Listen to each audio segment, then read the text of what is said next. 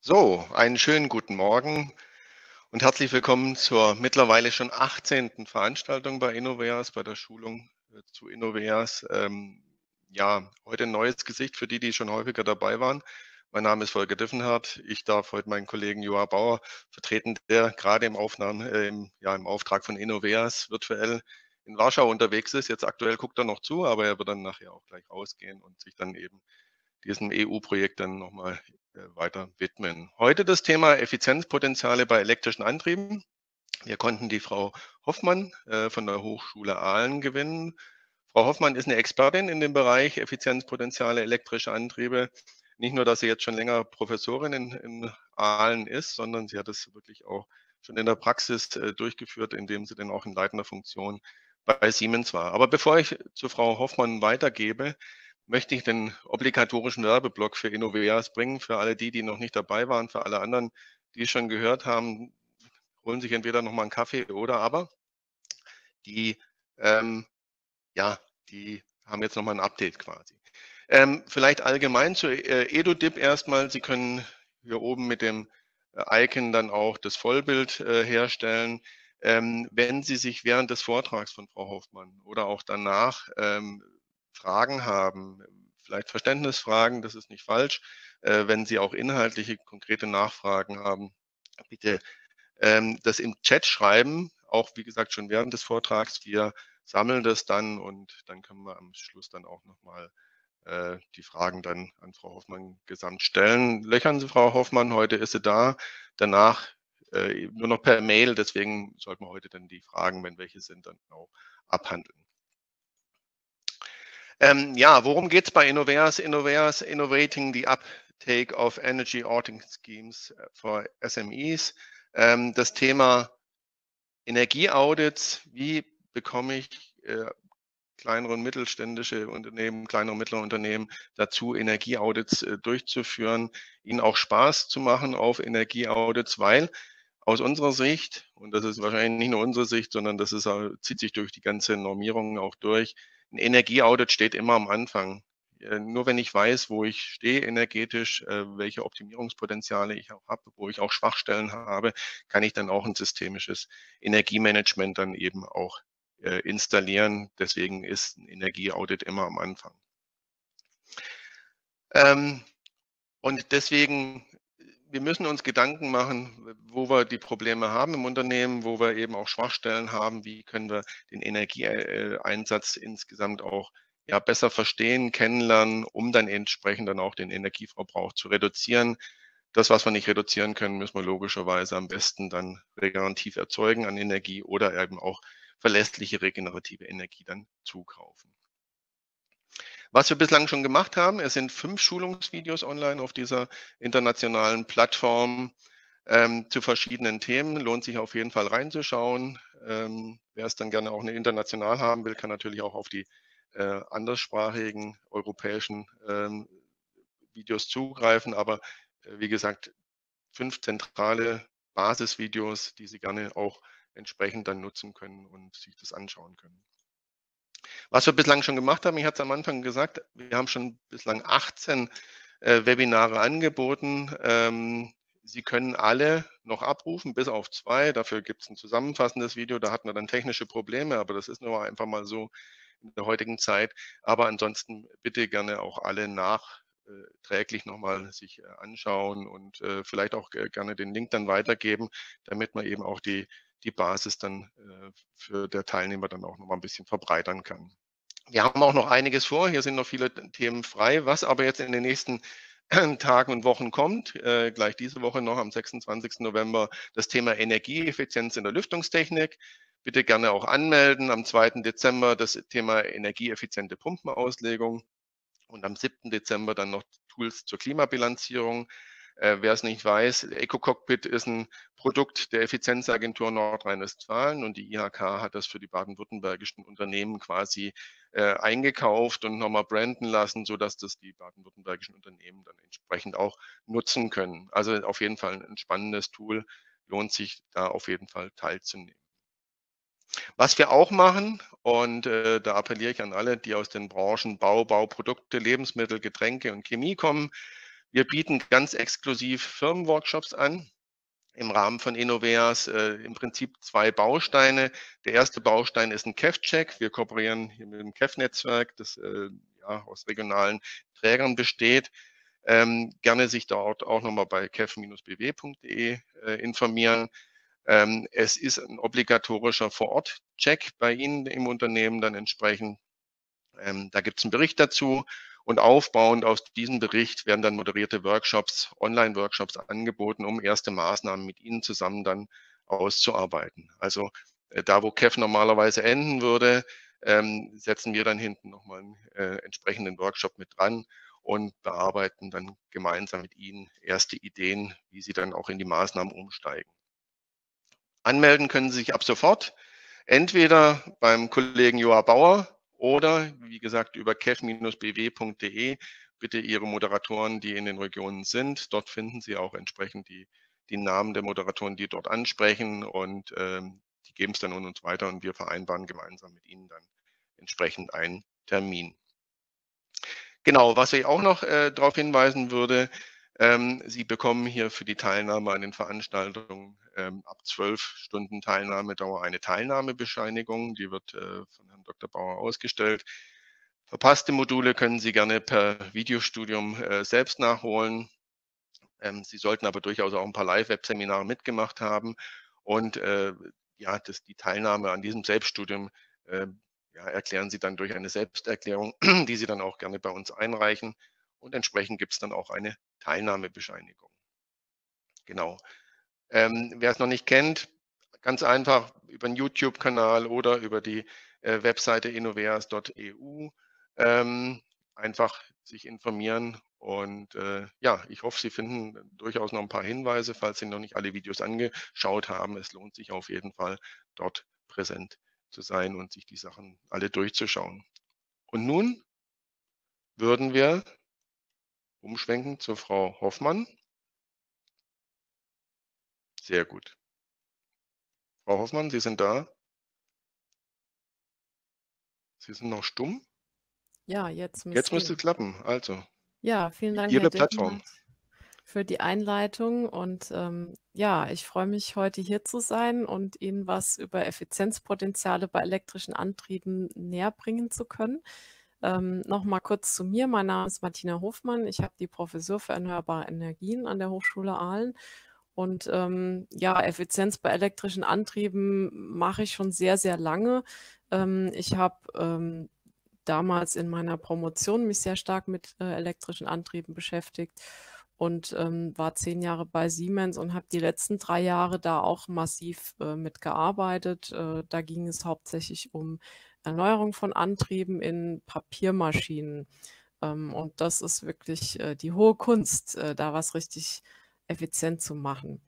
Ähm, so, ich habe Ihnen heute einen Vortrag mitgebracht, der ein bisschen anders ist, als ich das normalerweise an der Hochschule mache, weil ich mir gedacht habe, naja, Sie kommen wahrscheinlich alle irgendwo aus der Praxis ähm, und da bringt es Ihnen nicht viel, wenn ich jetzt irgendwie so viel theoretischen Kram mache, sondern ähm, ich habe es versucht, möglichst möglichst äh, fassbar zu machen, so dass sie einerseits verstehen, was die Hintergründe sind bei den elektrischen Antrieben und andererseits auch ein paar Beispiele haben, was man machen kann. Äh, und ich würde mich freuen, wenn dieser Vortrag Sie oder dieses Webseminar Sie dann inspiriert, äh, dass Sie sagen, oh ja, super, ähm, jetzt habe ich es verstanden und jetzt würde ich gerne meine eigenen Antriebe mal alle checken, ähm, was man da noch erreichen kann. Also dann, dann habe ich mein Ziel auch erreicht. Das würde mich sehr freuen. Ja, ähm, also was ist heute Inhalt dieses Webseminars?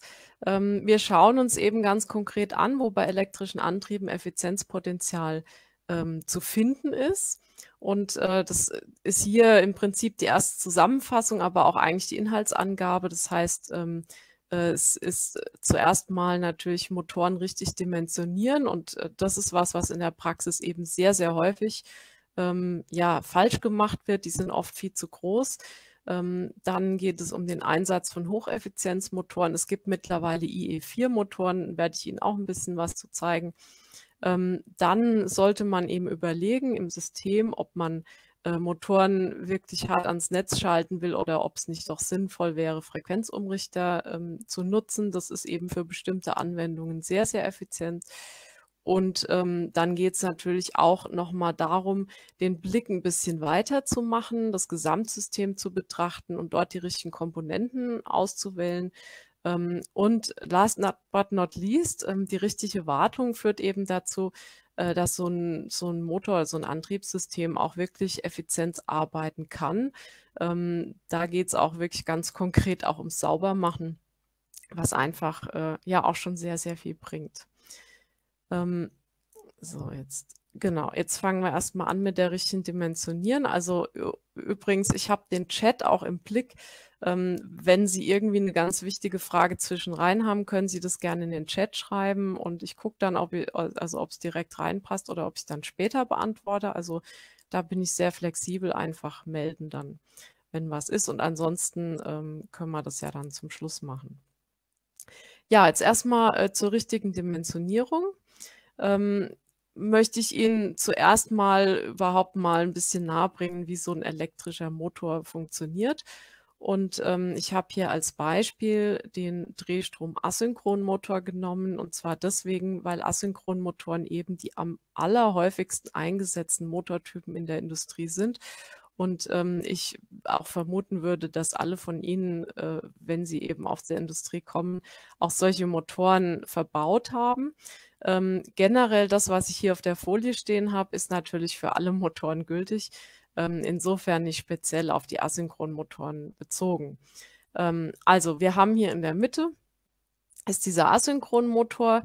Äh, das ist so ein, so ein Standardgerät. Sie sehen also hier, hier vorne schaut die Welle raus. Äh, da wird also irgendwas an, angeflanscht, was der Motor eben antreiben soll. Ähm, Sie sehen hier oben den, äh, den Klemmkasten. Ähm, der ist sehr gut geschützt. Den muss man also wirklich aufschrauben, damit man diesen Motor irgendwie anschließen kann. Hier sind so Einführungslöcher, die man dann öffnen muss. Da hinten sehen Sie ähm, den Ventilator. Ähm, sehr viele Motoren, äh, ah, ich sehe gerade, die Folie ist nicht sichtbar.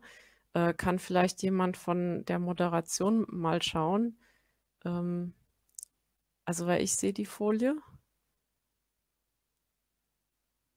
Geht mir auch so.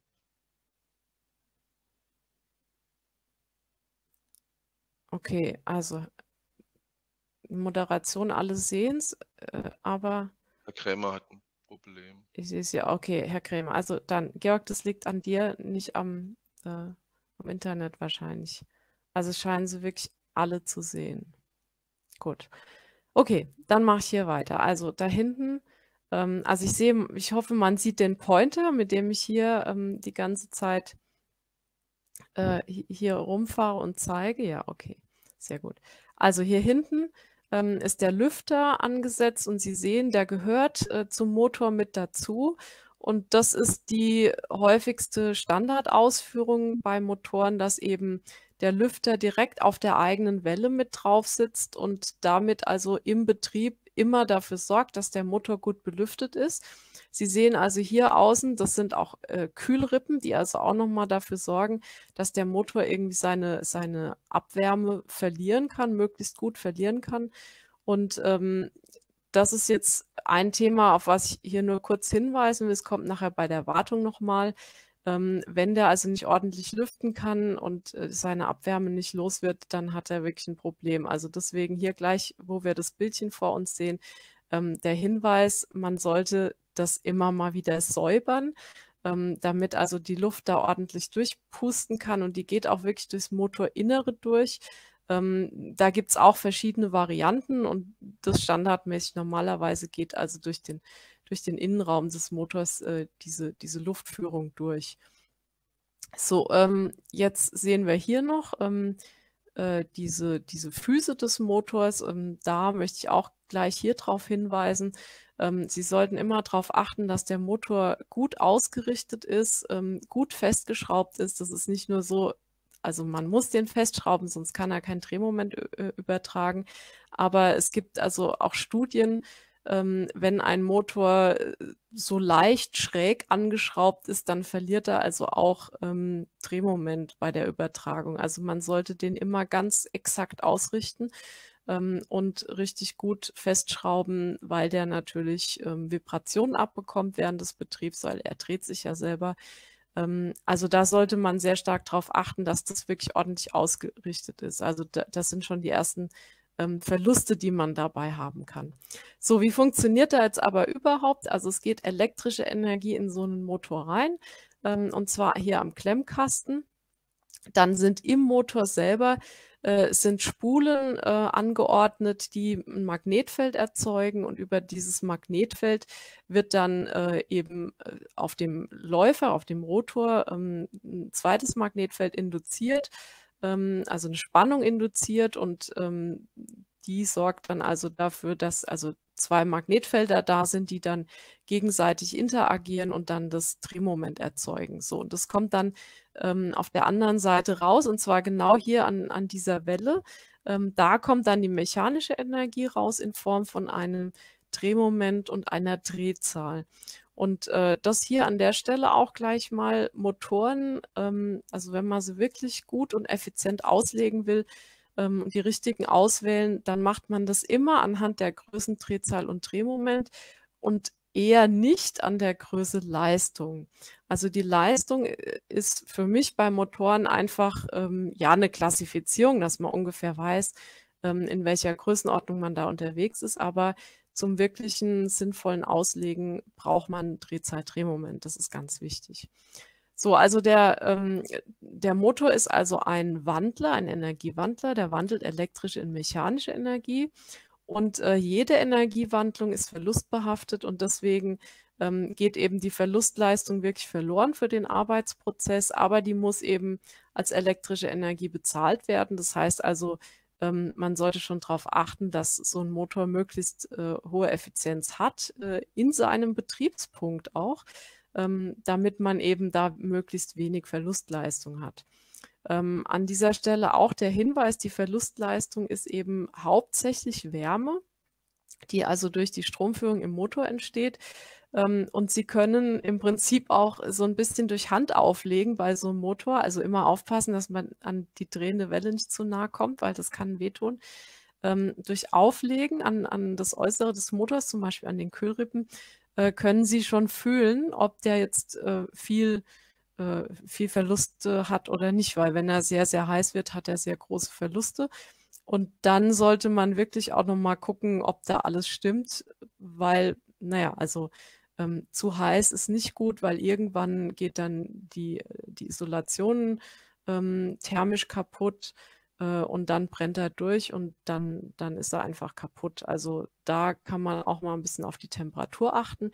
Üblicherweise ist in Motoren ein Temperaturfühler äh, ganz in der Mitte der Wicklung verbaut, dort wo es wirklich am meisten Abwärme gibt. Ähm, und es wird normalerweise getrackt über den äh, äh Umrichter, wenn einer da ist. Oder, also der Anschluss ist normal hier im Klemmkasten auch, oder man führt den eben wirklich ähm, raus und, und monitort hier die Temperatur. Das kann man also auch machen. Ähm, ist also empfehlenswert, wenn man wirklich ähm, hocheffizient arbeiten möchte. So, jetzt ähm, gibt es ja die Möglichkeit, dass man Motoren ähm, direkt sozusagen hart ans Netz anschließt und äh, dort dann einfach ein irgendwas antreibt. Und dafür schauen wir uns jetzt mal diese typische Kennlinie von einer Asynchronmaschine an, die ich Ihnen hier mitgebracht habe. Sie sehen also hier aufgetragen, auf der Y-Achse ist das, ähm, das Drehmoment, das mechanische Moment an der Welle. Und hier auf der X-Achse ist die Drehzahl des Motors. Und jetzt gibt es hier verschiedene Betriebspunkte. Ich fange jetzt mal an. Sie schalten so einen Motor an. Also der ist jetzt an, was weiß ich, 400 Volt ähm, angeschlossen, dreiphasig üblicherweise. Ähm, und anschalten ist hier, also wenn die Drehzahl gleich null ist. Und äh, das ist jetzt auch das Besondere bei, bei einer asynchronen Maschine, die kann also wirklich auch unter Last anlaufen. Die hat also hier bei Drehzahl null bereits ein, ein Moment, was sie aufbringen kann. Das wäre blöd, wenn sie es nicht hätte, weil dann könnte sie nicht selber anlaufen. Ähm, das ist zum Beispiel das Problem, was ein Synchronmotor hat. Der kann eigentlich selber nicht anlaufen, da muss man ein paar Tricks machen. Äh, so, der Asynchronmotor kann das aber per se, hat also hier dieses Anlaufmoment. Ähm, wenn er jetzt äh, nur alleine anlaufen muss, dann ist das alles überhaupt kein Problem. Wenn er aber jetzt gegen irgendein System anlaufen muss, wo jetzt irgendwelche Leitungen dahinter sind, Lüfter, was auch immer, dann kann das schon mal hier zum Problem werden. Also da muss man ein bisschen aufpassen, dass dieses Anlaufmoment auch wirklich ähm, die Last, die hinten dran hängt, auch ähm, aufbringen kann, äh, weil sonst läuft er einfach nicht an. So, jetzt läuft er an. Jetzt fährt er hier mit der Drehzahl hoch, ähm, kommt dann irgendwann hier ähm, in, in den Bereich seiner Nenndrehzahl und seines Nennmomentes. Wenn er jetzt noch im Leerlauf läuft, dann läuft er irgendwo, ähm, na hier, hier unten eben, hier mehr oder weniger da, wo die Kennlinie diese Achse schneidet. Also nicht ganz, aber fast, weil er hat so noch ein bisschen kleine Verluste. Ähm, und sobald Sie ihn also wirklich jetzt belasten mit einer Last, dann wird er in der Drehzahl ganz leicht einbrechen, also nur, nur leicht, sehen Sie hier, ähm, bis er dann zum Beispiel hier äh, bei seinem Nennmoment damit belastet wird und sich dann eben bei der Nenndrehzahl einpegelt. So, jetzt ist aber ganz oft so, dass er eben nicht mit seinem Nennmoment belastet wird, sondern mit einem Moment, was viel, viel geringer ist als das Nennmoment. Also das heißt, sein Arbeitsbereich ist irgendwo hier vorne an dieser Kennlinie. Und was Sie aber hier schon sehen können, ist, er hat hier dieses sogenannte Kippmoment. Also das heißt, man kann das Moment auch über äh, diesen Nennwert äh, ähm, belasten. Er wird da auch nicht gleich stehen bleiben, er wird ein bisschen langsamer werden, aber er kann dann bis zu diesem Kippmoment, bis zu diesem Wert, kann er also Moment aufbringen und kann dann was an, antreiben damit. So, was hat es zur Folge, wenn Sie ihn also über Nennmoment belasten? Das Nennmoment ähm, ist so, ähm, ja, so, so berechnet, so vorgesehen, dass ein Motor das eben dauerhaft äh, leisten kann, also sprich einmal einschalten und nicht mehr ausschalten. Also das heißt, er kommt dann in seinen thermischen Beharrungszustand irgendwann und kann das also thermisch dann auch leisten, ohne dass irgendwas kaputt geht oder verbrennt. So, wenn ich ihn also jetzt etwas stärker belaste als mit seinem Nennmoment, dann ist es erstmal äh, kein Problem. Was passiert? Es sind höhere Ströme im Motor, die dann äh, da fließen. Der hat also diese Reserven. Und damit wird aber mehr Verlustwärme erzeugt. Das heißt also, der Motor wird dann wärmer, als er normalerweise würde. Ähm, das heißt also, sowas kann man nur kurzzeitig machen. Also man kann es machen, aber eben nur kurzzeitig und man muss ihm dann also nachher auch wieder die Zeit geben, abzukühlen. Und das ist im Prinzip ähm, die Möglichkeit, die Sie zum Spielen haben. Das heißt, wenn Sie also jetzt ein System haben, was nur hin und wieder mal ähm, höhere Momente braucht, aber ich sage mal im Regelfall eher niedrige Momente, dann müssen Sie also auch nicht einen Motor nehmen, der die hohen Momente, die, die selten auftretenden im, äh, als Nennmoment hat, sondern Sie können da auch wirklich einen kleineren Motor nehmen und können äh, bis nah ans Kippmoment rangehen. Also Sie sollten nicht zu nah gehen, weil sonst bleibt er wirklich stehen. Ähm, aber das, das kann man wirklich machen und das macht man auch, wenn man äh, Motoren effizient auswählt. Ähm, das ist also die erste Möglichkeit, wie man das machen kann. Und äh, wie ich vorhin schon gesagt habe, ähm, das habe ich auch immer wieder festgestellt, wenn ich irgendwo draußen in einem Betrieb war. Ähm, Motoren werden sehr gerne viel zu groß dimensioniert. Also das heißt, man guckt sich an und sagt, naja, was ist denn das maximale Moment, was der erreich, also erreichen muss? Ähm, und das nehme ich dann als mein Nennmoment. Und das ist eigentlich totaler Quatsch, weil ich da ähm, natürlich also was habe ich für Nachteile? Ich habe einen größeren Motor, als ich eigentlich brauche. Ich habe ähm, höhere Verluste, kommen wir gleich drauf, warum. Ich muss mehr Geld bezahlen. Ähm, ich brauche einen größeren Bauraum. Und wenn ich dann natürlich auch eine Ersatzteilhaltung habe, was ich normalerweise ja auch immer habe, ähm, dann habe ich halt auch noch das Ganze äh, dann irgendwo im Lager rumliegen. Also großen Motor, äh, viel Geld gebunden und so weiter. Also es macht keinen Sinn. Es macht wirklich viel mehr Sinn, wirklich genau zu gucken, was brauche ich eigentlich. So, das wäre jetzt also hier ähm, an der Stelle, äh, wie, wie, so ein Motor funktioniert, wenn er hart am Netz ist. Und hier habe ich Ihnen jetzt mal Katalogdaten mitgebracht, damit ich Ihnen auch mal zeige, wo man sowas auch sehen kann. Das ist jetzt von Siemens. Ich habe ja glaube ich, vorhin gesagt, dass ich äh, sehr lange bei Siemens gearbeitet habe. Also es soll jetzt hier keine Schleichwerbung sein, sondern ähm, ich kenne mich da einfach am besten aus. Sie können da jeden beliebigen anderen Anbieter auch nehmen und können da in den Katalog schauen. Ähm, da möchte ich Sie also jetzt gerne auf ein paar Sachen hinweisen. Ähm, hier wird leider begonnen mit, mit der Leistung, weil es irgendwie so üblich ist, aber das Wichtigste hier sind wirklich hier äh, die Nenndrehzahl und das Nennmoment. Sie sehen hier, das ist beides jeweils bei 50 Hertz hier gezeigt. Und äh, das ist eben wirklich das, worauf man einen Motor auslegt. Das heißt, man schaut, ähm, wie muss die Drehzahl im, im Lastbetrieb sein ähm, und man legt sich möglichst nah an diese Drehzahl. Ich habe Ihnen jetzt zwei unterschiedliche Typen mitgebracht, nämlich einen zweipoligen und einen vierpoligen. Ähm, das heißt also, die haben wirklich diese ausgeführte Polzahl sozusagen im Inneren, also im, im Stator. Ähm, gibt es entweder die zwei Pole oder die vier Pole. Also weniger als zwei gibt es nicht, ne, weil es muss immer äh, eine gerade Anzahl sein, ist immer Nord- und Südpol, die zusammengehören. Ähm, es gibt dann noch unter den Standardmotoren gibt es noch sechs Pole und acht Pole, aber die acht nicht in jeder Ausführung. Äh, und dann ist eigentlich vorbei. Also eigentlich zwei, vier und sechs Pole gibt es ähm, standardmäßig in eigentlich allen Größenordnungen. Alles, was darüber hinausgeht, müssen Sie dann separat beauftragen. Ähm, das wird dann also extra für Ihren Antriebsfall äh, ausgelegt und äh, ist dann also ganz genau ähm, darauf dimensioniert. Aber davon reden wir jetzt nicht, sondern wir reden von Motoren, die also in Standardgrößen da sind. Und das ist das Tolle bei Asynchronmotoren. Die sind also genormt da gibt es also diese ganzen Baureihen und deswegen sind die auch äh, ersetzbar. Das heißt, Sie können einen Motor von einem Hersteller durch den von einem anderen Hersteller ersetzen und normalerweise passt es dann. Also sowohl ähm, die Achshöhe, also da, wo zwischen dem Punkt, wo man anschraubt und da, wo die, äh, die Mitte der Welle ist, ähm, als auch von den, ja, mehr oder weniger Größenordnungen, Dimensionen des Motors. Ähm, so, jetzt schweife ich gerade ein bisschen ab, also zweipolige und vierpolige. Ähm, das unterscheidet sich eben, wie Sie hier schon sehen, an den Drehzahlen. Also der zweipolige hat eine relativ hohe Drehzahl, äh, so knapp unter 3000 Umdrehungen pro Minute und der vierpolige ähm, etwas unter 1500. Sie sehen, wenn Sie hier in die Nenndrehzahlen reingucken, ne, hat eben der zweipolige hier was um die 2800 irgendwas und der vierpolige 1400 irgendwas. Also das sind so die, die Bereiche äh, der Nenndrehzahl. Und äh, das ist auch jetzt schon äh, so der Hinweis dazu. Also wenn, wenn das irgendwie funktioniert, dass Sie irgendwas antreiben, was eben etwa diese Drehzahlen hat, dann ist das toll. Dann können Sie das also auch direkt am Netz machen, brauchen auch keinen Frequenzumrichter.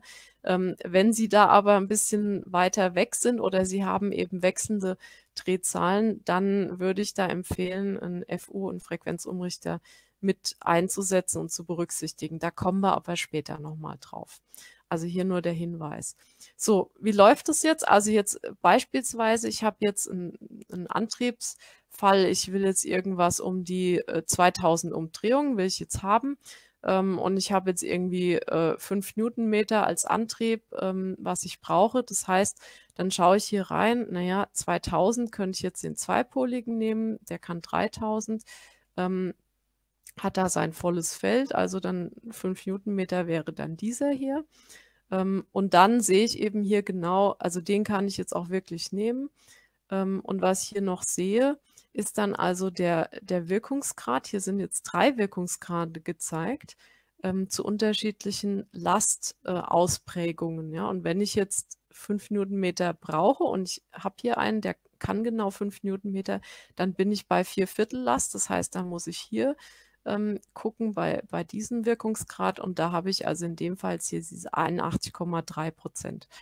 Ähm, nur damit Sie jetzt mal so einen Eindruck bekommen. Also das ist jetzt ein Motor, Sie sehen die Leistungsgrößen, das sind hier so ein paar kW. Ähm, und da sind wir hier so im Bereich von ein bisschen über 80 Prozent unterwegs. Ähm, Cosinus Phi ist noch ganz interessant, der ist 0,84. Ähm, Cosinus Phi sagt eben aus, wie die Relation zwischen Wirk- und Blindleistung ist. Und ähm, das hat dann eben was damit zu tun, auch wie viel Blindleistung sie benötigen, um diesen Motor zu betreiben. Ähm, das ist aber dann nochmal ein eigenes Seminar, darauf werde ich jetzt erstmal nicht eingehen. So, was noch wichtig ist, ist hier äh, der Nennstrom. Und äh, den sehen wir jetzt hier zum Beispiel in dem Fall bei 3,15 Ampere. Also das heißt, hier wissen Sie dann auch, wie Sie alles drumherum auslegen müssen oder auch, wenn Sie dann einen Umrichter dafür haben wollen, äh, welchen Strom dieser Umrichter dann auch erzeugen muss in dem Fall. Dann haben wir hier noch was ganz Interessantes. Das ist hier der, ähm, die Relation zwischen Anlaufmoment und Nennmoment. Und hier sehen Sie also auch schon, ähm, das ist jetzt anders als in dem Bild, was ich hatte. Oder ich gehe nochmal zurück. Hier sehen Sie, das ist Anlaufmoment und das ist Nennmoment. Und hier in dem Bild ist das Nennmoment größer als das Anlaufmoment.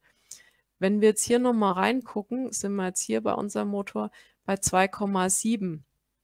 Das heißt also, in dem Fall ist das Anlaufmoment deutlich größer als das Nennmoment, nämlich um fast das Dreifache. Das heißt also, dieser Motor ist wirklich geeignet, dass Sie den mit einer relativ großen Last anlaufen lassen können. Das ist also wirklich auch so, dass, dass der eher dafür gedacht ist, Anlauf mit großer Last und dann eben äh, äh im, im Nennbetrieb, also wenn man ihn eben dann dauerhaft laufen lässt, dass die Last dann eben auch reduziert ist.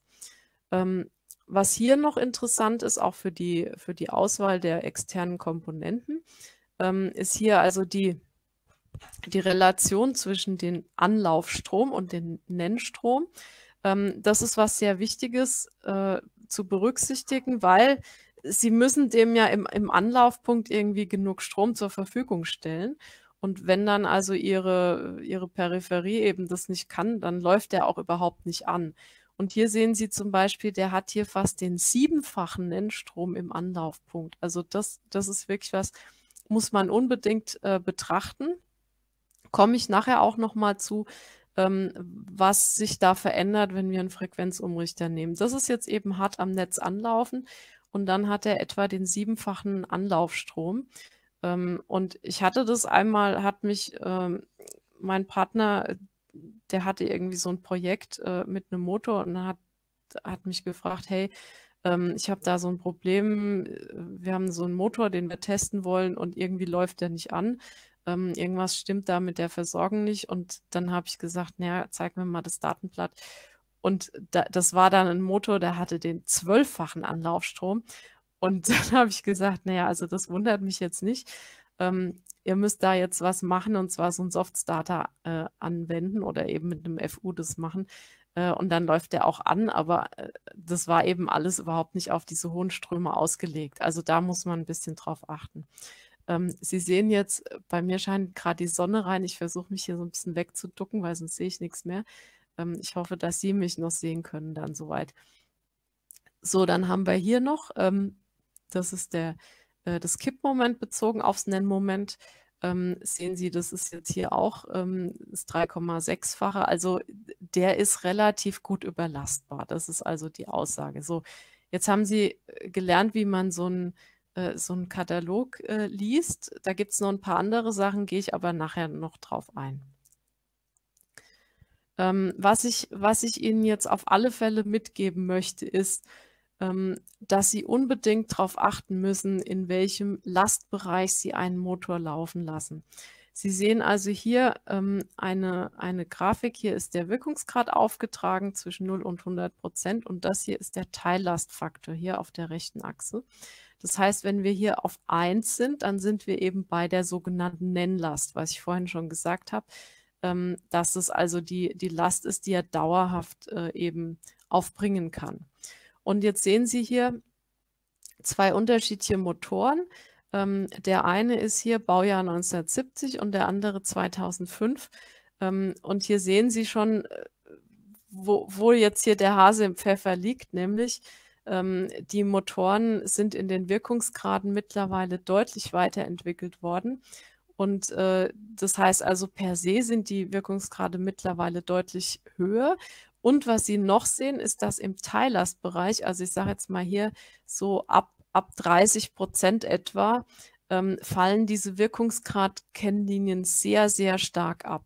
Also das heißt, wenn Sie einen Motor äh, oder Sie haben einen Antrieb, äh, Sie müssen irgendwas bewegen, irgendwas antreiben und Sie haben da jetzt einen Motor dran laufen, der zwei Nummern zu groß ist oder so, warum auch immer. Also ganz oft machen das Leute, die sich damit nicht so gut auskennen. sagen dann, naja, ich gehe lieber auf Nummer sicher. Ich mache den Motor also lieber ein oder zwei Nummern größer, dass der auch auf alle Fälle ähm, die Last auch schafft und auf keinen Fall stehen bleibt und da zuverlässig läuft und so weiter. Ähm, so, das ist das total falsche Herangehen, weil ich habe ja schon gesagt, was das für Nachteile hat. Ähm, und hier sehen Sie, es hat also noch weitere Nachteile, weil nämlich, wenn wir in so einem extrem niedrigen Teillastbereich unterwegs sind, ähm, dann ist der Wirkungsgrad eben sehr, sehr gering. Und äh, das, das ist wirklich erheblich, was das ausmacht. Und das heißt dann, ähm, Sie brauchen also sehr viel Strom, um den Motor zu betreiben. Ähm, der wird aber dann sehr warm, also der macht sehr viele Verluste. Das heißt, ähm, die müssen Sie ja auch wieder wegkühlen. Das ist also doppelt und dreifach schlecht, sowas zu machen. Also man sollte bei einem Motor eine Überdimensionierung, wenn es irgendwie geht, immer vermeiden und nicht gerade das machen, ja, weil man denkt, naja, dann, dann funktioniert er besser. Das ist eben nicht so. Ähm, ich habe übrigens hier äh, meine Quelle topmotors.ch, die kommt jetzt sehr oft neben Siemens. Ähm, kann ich Ihnen also empfehlen, das ist äh, eine, ja, wie soll ich sagen, eine, eine Homepage, äh, die also auch von der Schweizer ähm, Regierung gesponsert wird und äh, die machen also auch noch ähm, Seminare und so weiter. Also wenn Sie da noch weiterführende Infos haben, kann ich Ihnen also raten, ähm, sich da mal anzu, äh, ähm, umzuschauen. Da habe ich auch einige Beispiele, die ist wirklich ganz toll gemacht, kann ich empfehlen. So, jetzt habe ich gerade gesagt, ne, also wie ist das, wenn die Sachen äh, überdimensioniert sind, ist also nicht gut. Und ähm, so, wie kenne ich? Ja, ja, genau. Da kam jetzt gerade die Frage, wie erkenne ich das im Feld? Ähm, also Sie, Sie können schon mal eine Indikation haben, eben indem Sie mal gucken, wie heiß er wird. Äh, also wenn er sehr, sehr kalt wird, dann ist er meistens überdimensioniert, weil er dann also wahnsinnig viele Reserven hat.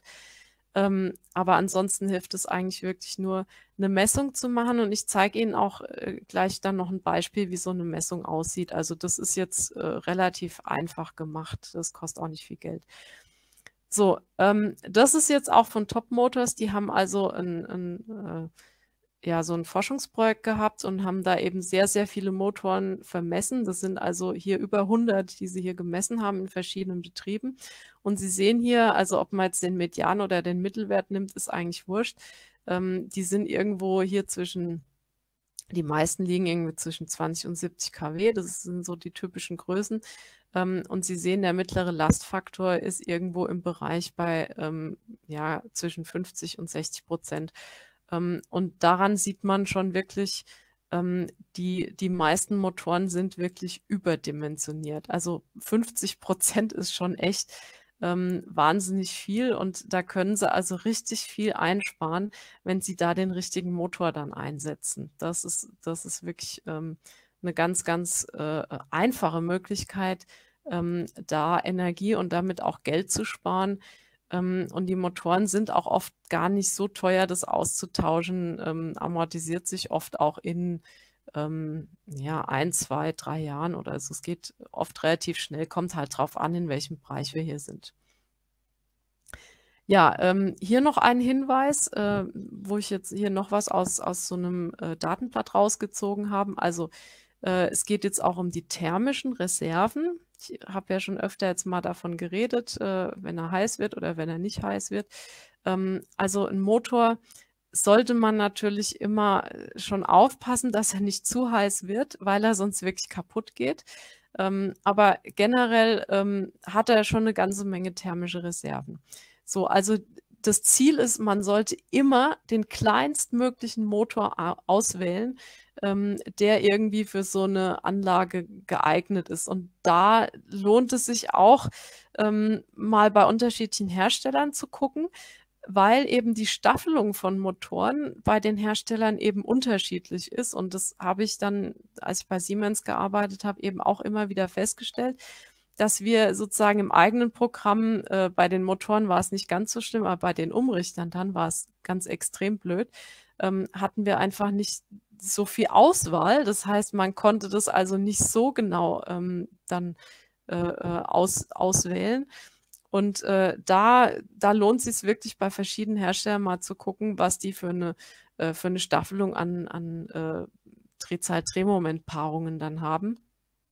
Ähm, und dann eben das Richtige auszuwählen.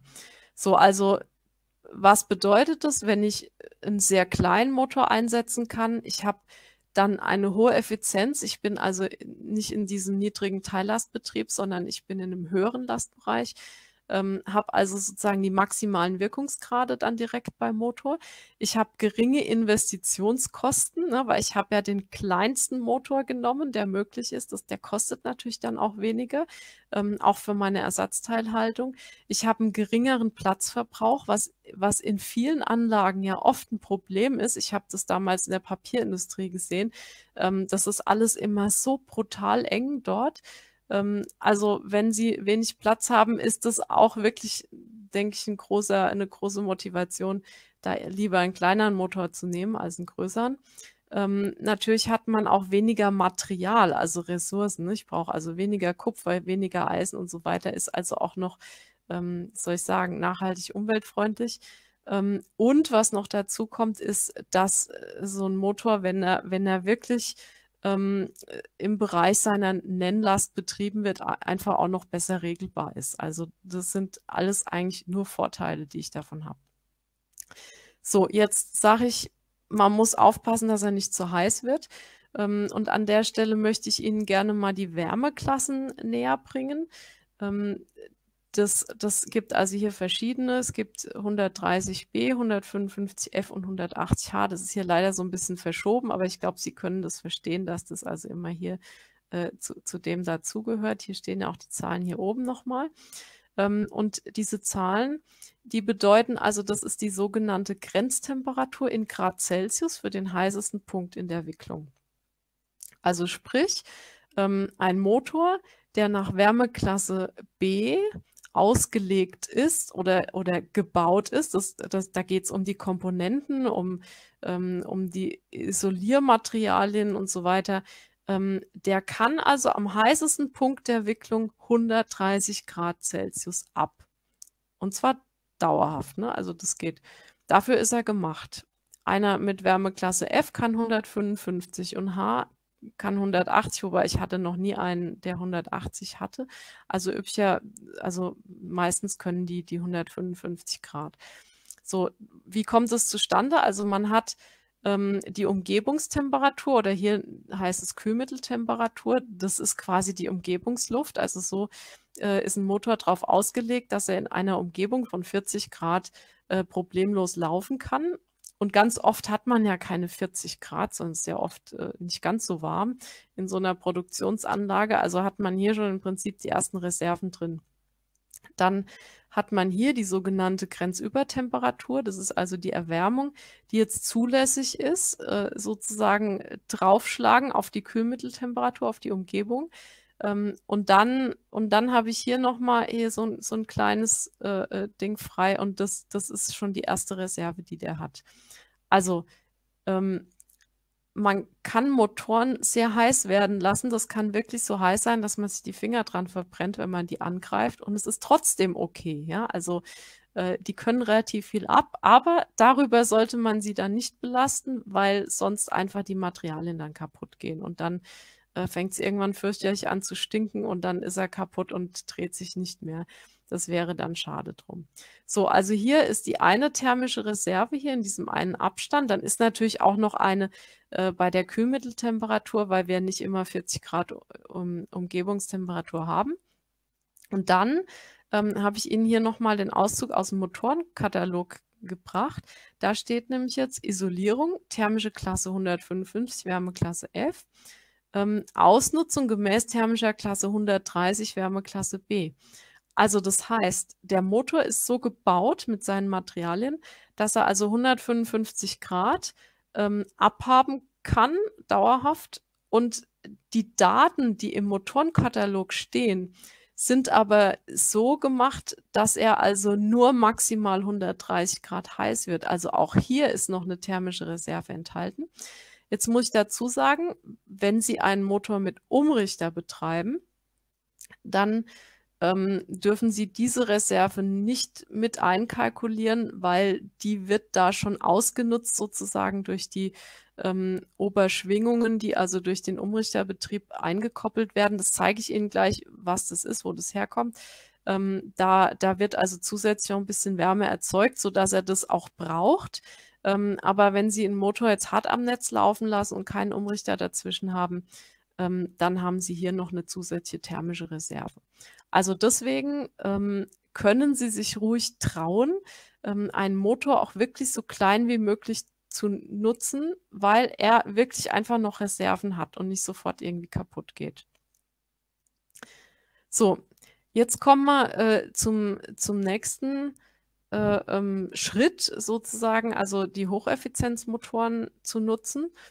Und ähm, da habe ich Ihnen jetzt mal so einen Überblick äh, gebracht. Also warum sollte man denn jetzt möglichst effiziente Motoren nehmen? Und ähm, hier sehen Sie jetzt äh, die, die Lifecycle-Kosten äh, aufgetragen für unterschiedliche Motoren. Hier sehen Sie, ähm, ist die Bemessungsleistung, das ist jetzt ein kleiner Motor, 1,5 kW, hier der hat 15 und der 110. Ähm, hier oben steht die statistische Motorlebensdauer in Jahren. Und hier ist jetzt jeweils aufgedröselt der Kaufpreis, die Installations- und Wartungskosten und die Energiekosten über die Lebensdauer. Und wie Sie jetzt schon äh, direkt sehen können, ist der größte Anteil bei den Energiekosten über die Lebensdauer, was natürlich auch irgendwo logisch ist. Das heißt also, äh, Sie können äh, getrost ein paar Euro mehr für so einen Motor ausgeben. Das fällt überhaupt nicht ins Gewicht.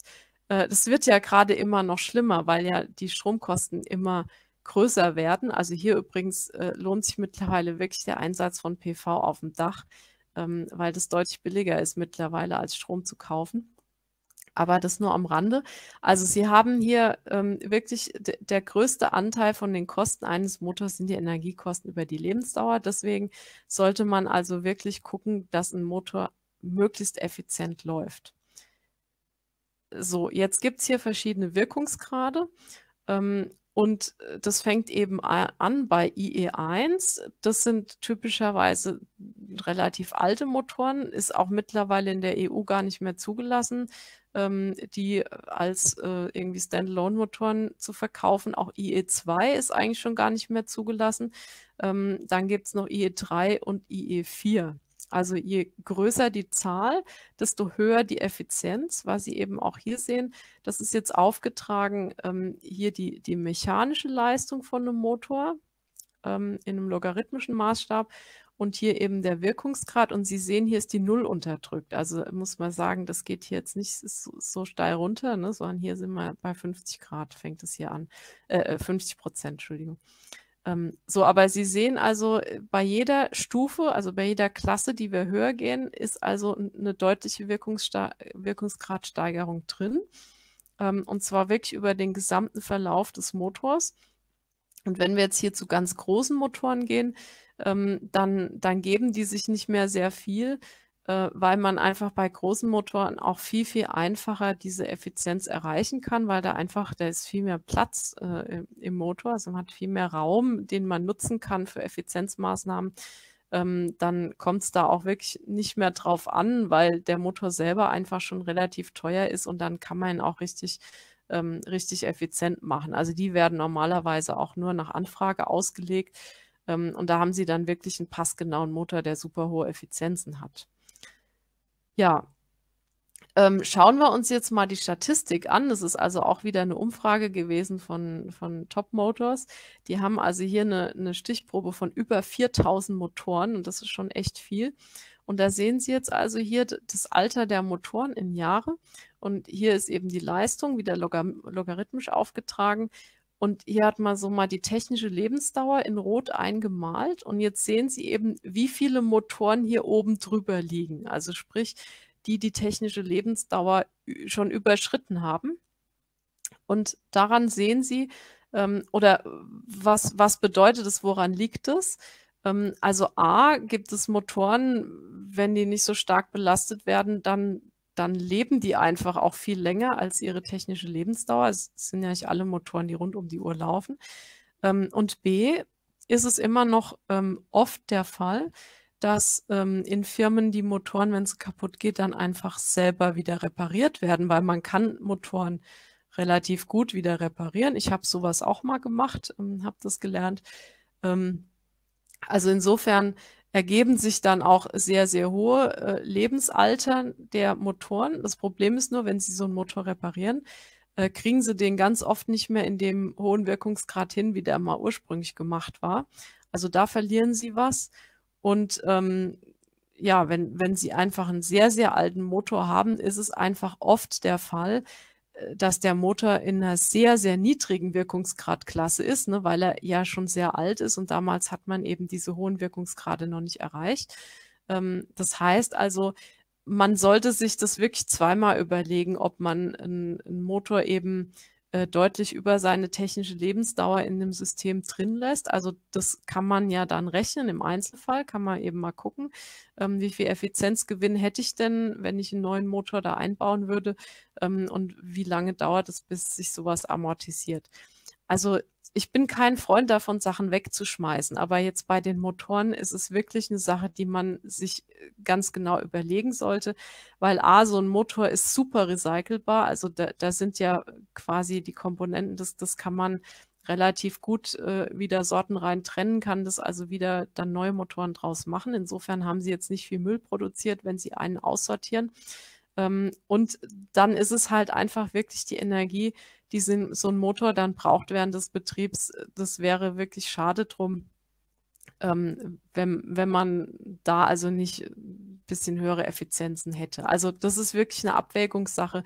Ähm, aber ich würde es Ihnen wirklich ans Herz legen. Ähm, checken Sie Ihren, Ihren Motorbestand, schauen Sie, ähm, wie alt sind die, welche Wirkungsgrade haben die. Das steht auch üblicherweise auf dem Typenschild dann drauf.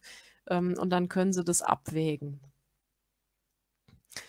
Ja, hier kommt also jetzt mal ein mal 'n richtiges Beispiel. Ähm, das ist jetzt von Birr-Maschinen aus der Schweiz. Die haben also 'n äh, so genau gemacht. Das heißt, die haben hier so einen Kompressor gehabt, Kompressoranlage, Baujahr 66, also schon ein bisschen älter, äh, der bestehende Antrieb. Und das sehen Sie, der hatte 295 kW, achtpoliger Asynchronmotor, ähm, also ein 'n Langsamläufer sozusagen, der hat 750 Umdrehungen ähm, im, äh, im Synchronpunkt. Ähm, und man hat also dann den Leistungsbedarf ermittelt. Ähm, das sehen Sie hier. Bei, das ist hier eine Messung, die man da gemacht hat. Und das können Sie jetzt wahrscheinlich nicht lesen, aber es steht hier, der hat eine mittlere Leistungsaufnahme von 218 kW. Ja? Also das heißt, der Motor war schon, ich sag mal, relativ gut äh, dimensioniert auf, auf die Last, ähm, aber ist eben jetzt sehr, sehr alt. Und ähm, er hat also jetzt hier, hat man, kann man sehen, äh, der hat während der Messdauer eben, äh, hier 300 Stunden hat man gemessen, ähm, 73 Megawattstunden gebraucht. Das ist schon ordentlich. Und äh, der Wirkungsgrad, hier sehen Sie IE0, also das ist wirklich schon ein ganz altes Ding, 92,8 Prozent. Ähm, und die berechnete Wellenleistung 202 kW. So, jetzt hat man also diesen Motor ausgetauscht.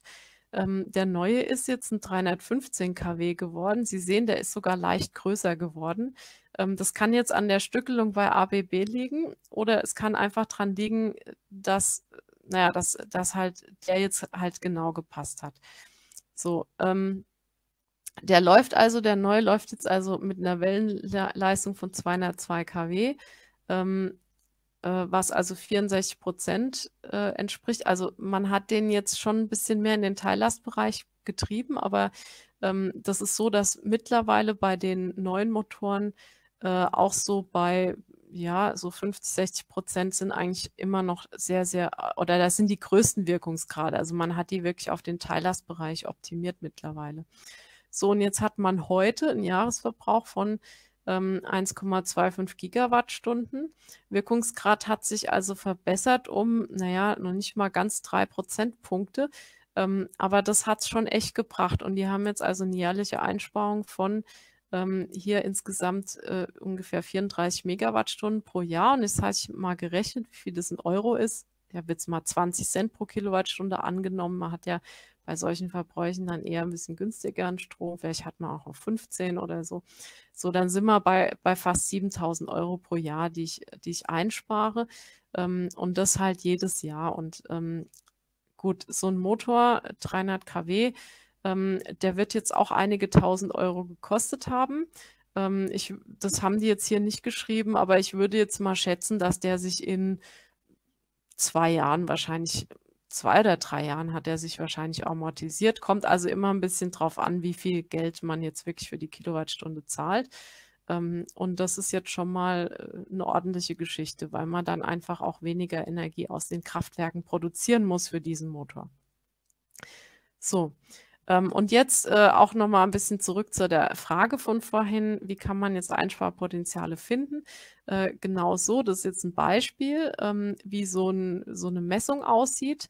Ähm, Sie sehen also hier äh, die Zeit der Messung. Ähm, hier ist also jetzt die Leistungsaufnahme äh, in kW gezeigt und hier hat man jetzt äh, also auch gezeigt, wo ist denn die 100 Prozent und, und so weiter, dass man auch so ein bisschen sieht, mit wie viel Prozent der denn hier läuft. Und Sie sehen also jetzt hier, das ist jetzt hier Aufnahme, das Gezappel hier, ähm, ist also jetzt hier die Leistung. Dann geht die hier runter, das heißt, der wird ausgeschaltet. Dann ist er auf Null. Und hier ist nochmal der Anlauf, ist also mal extra aufgeschrieben. Hier sehen Sie, dass, dass der also gegen irgendein System jetzt anläuft, was er jetzt erstmal ähm, beschleunigen muss. Ähm, dann bricht es hier kurz ein und dann geht er hier wieder auf seine Nennleistung drauf. Ähm, das könnte aber auch das eigene Trägheitsmoment sein, sehe ich gerade, sonst würde es ein bisschen anders aussehen. Ähm, okay, so und was haben wir jetzt also? Wir haben eine mittlere Leistungsaufnahme hier in dem Fall von 22,5 kW, was etwa 38 Prozent entspricht, ähm, weil es ein Motor, der hat also äh, 55 kW mechanisch äh, und 58,4 kW elektrisch. Ja? Also das bei einem Motor ist immer so, elektrische Leistung ist natürlich immer größer als die mechanische, weil es geht ja unterwegs was verloren. So, also das heißt, äh, dieser Motor ist massiv überdimensioniert und in so einem Fall wird es sich wirklich lohnen. Und Sie sehen, also man muss da einfach ein Messgerät dranhängen. Also wir haben übrigens sowas, ähm, äh, können Sie bei uns auch äh, bekommen, so eine Messung. Ähm, das, das ist jetzt hier eine halbe Stunde, hängt das jetzt dran. Ja, man, natürlich macht natürlich mehr Sinn, dass man vielleicht über mehrere Tage misst, also auch mal so einen kompletten Wochenlauf durchmacht. Es kommt halt immer darauf an, wie der Motor jetzt wirklich genutzt und betrieben wird. Und das weiß man ja normalerweise, wie die Fertigung funktioniert. Und dann kann man also ein bisschen kürzer oder ein bisschen länger messen und dann sieht man eben genau, ist der jetzt richtig dimensioniert oder nicht. Also so, so können Sie es machen. Und dann können Sie eben überlegen, ähm, macht es jetzt Sinn, den Motor auszutauschen? Also bei dem wird es jetzt schon Sinn machen, äh, auf, von energetischer Seite äh, diesen Motor auszutauschen, weil er einfach wirklich absolut überdimensioniert ist. Ja, Jetzt habe ich ähm, eine knappe Stunde geredet. Äh, würde ich sagen, wir machen jetzt mal eine Pause, äh, damit Sie sich äh, irgendwie einen frischen Kaffee holen können, irgendwie äh, nochmal kurz im Kreis laufen oder sowas, weil ich, ich weiß, dass irgendwann ähm, kann man nichts mehr aufnehmen. Ähm, ja, Herr Diffenhardt, was machen wir? Zehn Minuten? Ja, können wir doch schön machen. Äh, fangen ja? wir zehn nach zehn wieder an? Genau, zehn nach zehn machen wir weiter und dann kommen die anderen Themen dran. Super. Dann schöne Pause und bis gleich dann. So, jetzt sind wir wieder da. Es ist zehn nach zehn. Äh, es kam gerade noch eine Frage im Chat, ähm, das Problem in bestehende Prozesse einzugreifen. Ja, äh, das ist ein Problem. sehe ich genauso. Ähm, also als erstes würde ich, würde ich mir wirklich den Prozess genau angucken, analysieren, ähm, was, was da jetzt wirklich passiert und welche Möglichkeiten es gibt. also ich würde es wirklich erstmal analysieren, berechnen, messen und dann ähm, muss man halt entscheiden, ob man sich traut, in so einen Prozess einzugreifen oder nicht. Also es ist auch schwierig, wenn man, ähm, sag mal, Maschinen hat, die man so komplett gekauft hat und da sind jetzt irgendwelche Antriebe dabei, die dann nicht mehr gut funktionieren oder die sehr viel Energie brauchen, dann ähm, kann man eben auch mal mit dem Hersteller reden, ob der sich das angucken kann. Also das ist wirklich ähm, im Einzelfall muss, muss man das einfach abwägen. Also wir können da auch gerne unterstützen, ähm, aber da gibt es jetzt einfach kein Pauschalrezept. Okay, dann mache ich jetzt mal weiter. Ich hoffe, es sind alle wieder gut zurück und haben ihren Kaffee und sind gestärkt und jetzt wieder aufnahmefähig. Jetzt kommen wir zum Thema. Ähm, irgendwas passiert da im Chat, aber nee, passt so. Jetzt kommen wir zum Thema Einsatz von Frequenzumrichtern. Habe ja vorhin ähm, gesagt, dass das eben eine Möglichkeit wäre, und ähm, die möchte ich jetzt mal vorstellen. Und jetzt schauen wir uns erstmal nochmal die Statistik an. Ähm, das ist also diese Auswertung von Top Motors. Ähm, die haben nämlich auch geguckt, welche Motoren laufen denn mit und welche ohne FU. Und das sind eben in dieser ganzen Masse von über 4000 Motoren, sind es gerade mal 20 Prozent gewesen mit Frequenzumrichter. Und äh, das, also das ist nicht plausibel, dass es da nicht noch Möglichkeiten gibt, weil ähm, die, ja, die Anwendung, wo man so einen Motor hat, am Netz laufen lässt, ähm, wo es wirklich Sinn macht und wo der FU sich nicht lohnt, sind doch relativ wenige, also relativ gering. Man könnte, also man kann da wirklich ähm, deutlich öfter mit FU arbeiten und äh, das macht eben dann auch ja, sehr viel Sinn und spart auch nochmal eine ganze Menge Energie. Aber da kommen wir jetzt gleich drauf. Ähm, erst was ist so ein Frequenzumrichter? Wie funktioniert der? Also, das ist jetzt hier so das Theoretischste, was ich dabei habe. Ähm, aber ich glaube, man kann sich das nach und nach angucken, dann verstehen Sie das auch. Also, hier haben wir auf der linken Seite das Energieversorgungsnetz. Das ist jetzt hier dargestellt mit drei Spannungsquellen, mit drei Wechselspannungsquellen. Das sind eben die drei Phasen. Ähm, so, dann geht das jetzt hier, hier dieses äh, ähm, leicht gestrichelte drumherum. Das ist der Kasten sozusagen von diesem Frequenzumrichter. Und da drin sind also jetzt drei Anteile, nämlich der sogenannte Gleichrichter, dann der Gleichspannungszwischenkreis und der Wechselrichter. Und Sie sehen hier schon, sind also unterschiedliche Komponenten verbaut und ich will ja gar nicht auf die einzelnen eingehen. Ähm, was das im Endeffekt ist, das sind alles Schalter. Das schaltet einfach hin und her. Ähm, und das sieht man eben äh, dann hier unten, was passiert. Aber hier erst nochmal äh, zu, zu Ende gedacht. Hier kommen jetzt wieder drei Phasen raus. Und hier hängt dann der Drehstrommotor hinten dran. So viel erstmal äh, zu der Blackbox. Und äh, was passiert jetzt also? Wir kriegen vom Netz ähm, hier eine relativ schöne sinusförmige Spannung in drei Phasen. Das ist hier dargestellt. Und wenn wir jetzt angucken, was hier mitten in diesem Umrichter passiert, nämlich über diesem großen Kondensator, der hier drin ist, der Gleichspannungszwischenkreis, dann sehen wir, dass das eben hier ähm, diese, diese oberen Teile von, von diesen Sinuswellen äh, sind, die man hier noch sieht. Also die werden, wie gesagt, ein- und ausgeschaltet und so ergibt sich dann dieses Muster ähm, positiv und negativ. Und, und äh, das hier ist eben diese sogenannte Zwischenkreisspannung. Das ist eine Gleichspannung, weil sie eben keinen Nulldurchgang hat. Und ähm, was jetzt hier hinten rauskommt, ähm, das ist jetzt auch nochmal ganz krass. Hier wird nämlich jetzt gepulst und zwar von dieser Gleichspannung ähm, werden jetzt verschieden lange ähm, Spannungsblöcke sozusagen freigeschaltet auf, auf diesen Motor drauf direkt. Also das, das ist äh, direkt die Spannung, die der Motor sieht. Das sind so, so Blöcke und Sie sehen, die sind in unterschiedlichen äh, Zeitlängen. Ähm, sind jetzt erstmal Blöcke sozusagen mit, mit positiver Gleichspannung und hier jetzt mit negativer Gleichspannung. Und wenn Sie sich jetzt mal vorstellen, das Ganze zu integrieren und dann kommt da etwa ein Sinus raus, und das sieht man auch hier am Motorstrom, weil nämlich äh, in diesem Drehstrommotor sind ja Spulen, also Induktivitäten drin. Ähm, und also da, da, da wird eben im Prinzip genau diese, diese Integration, die passiert da automatisch. Und da sehen Sie, das ist jetzt hier so ein, so ein Verlauf, der ist so annähernd sinusförmig. Ja. Und äh, das ist also wirklich auch so dieses Charakteristikum, äh, von so einem Frequenzumrichter. Also er macht aus einer wunderschönen sinusförmigen dreiphasigen Spannung macht er sowas hier in so Blöcken. Und wenn wir uns das mal ein bisschen genauer angucken, äh, das ist jetzt auch äh, eine Messung, ist eben eine Leiter-Leiterspannung am, am Motor gemessen und der Rum Motorstrom. Und das ist jetzt eine bestimmte ähm, Regelart, die man hier angewendet hat. Also hier sehen Sie es nochmal, da sind jetzt wieder diese Spannungsblöcke im positiven und im negativen. Und das ist eben dieses Gezappel hier, das ist das, was der Strom dann ist, der, der wirklich durch den Motor durchfließt.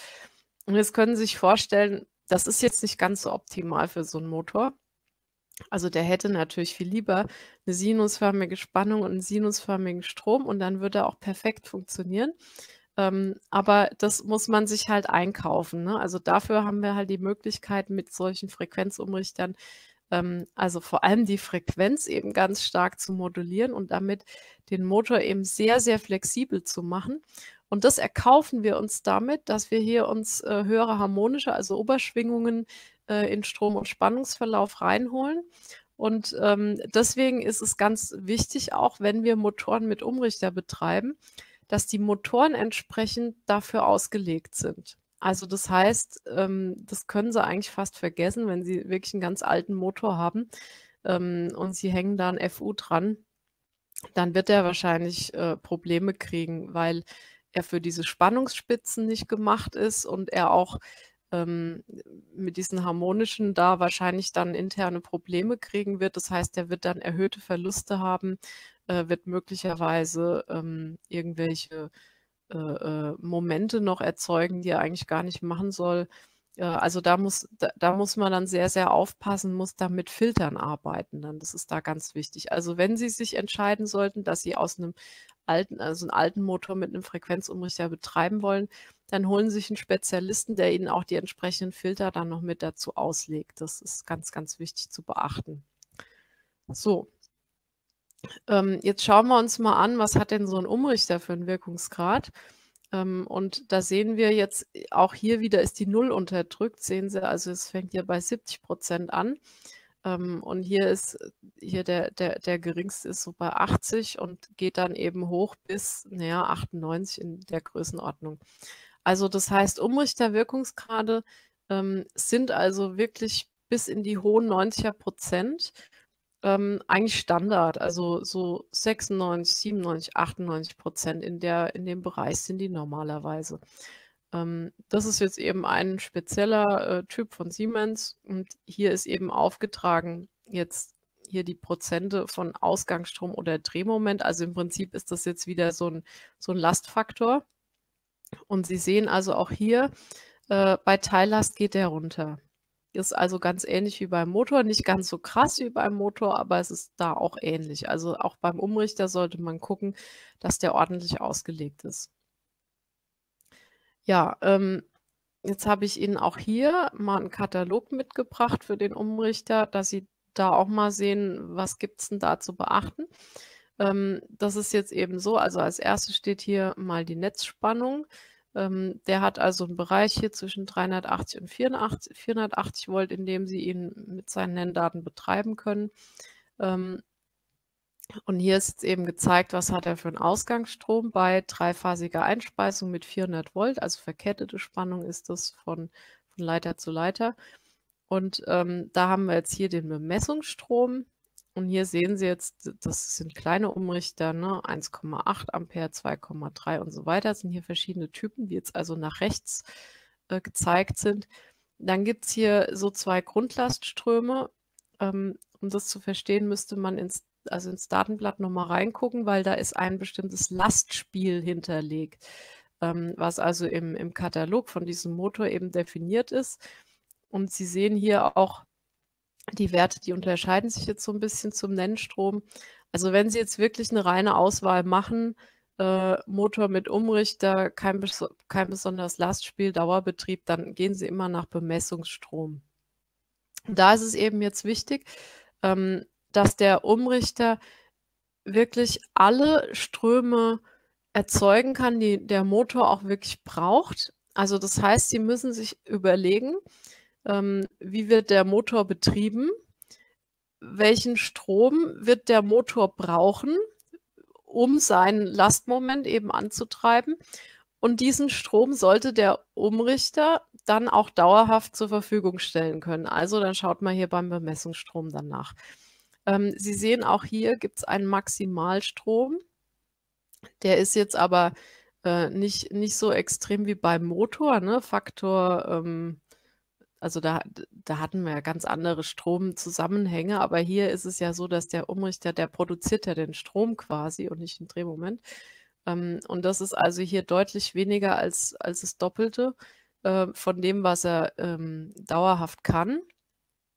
Und da sollten Sie drauf achten, ähm, dass das wirklich nur in Ausnahmefällen ist. Also sprich, wenn Sie zum Beispiel 'n Notaus machen wollen, ähm, und dann können Sie hier bis zum Maximalstrom gehen, aber dann auch nur 'n paar Sekunden, weil Sie sich äh, Sie müssen wissen, so so 'n Umrichter, ähm, ist sehr, sehr fragil und der ist sehr empfindlich auf zu hohe Ströme. Also, der brennt Ihnen dann sonst relativ schnell durch. Also, da sollte man nie drangehen, wenn's irgendwie geht. Ähm, und diesen Wert kann er eben dauerhaft.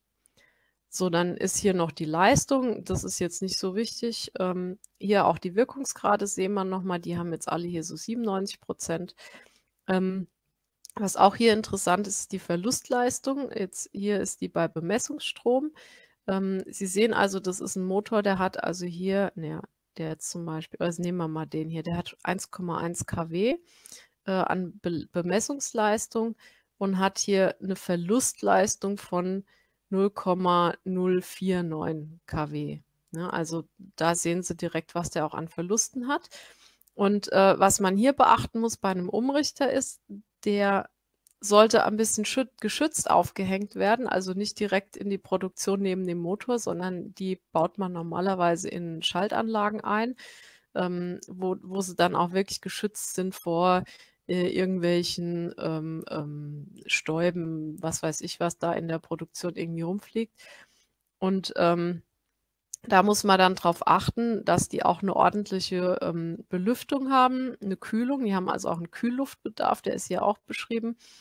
Und, ähm also die die können nicht so lange, äh, so viel Wärme ab. Also die die altern dann, wenn sie zu warm werden ähm, und gehen dann also schneller kaputt. Das heißt, da sollte man also ganz stark drauf achten, bei Frequenzumrichtern, die so 'n bisschen zu schützen.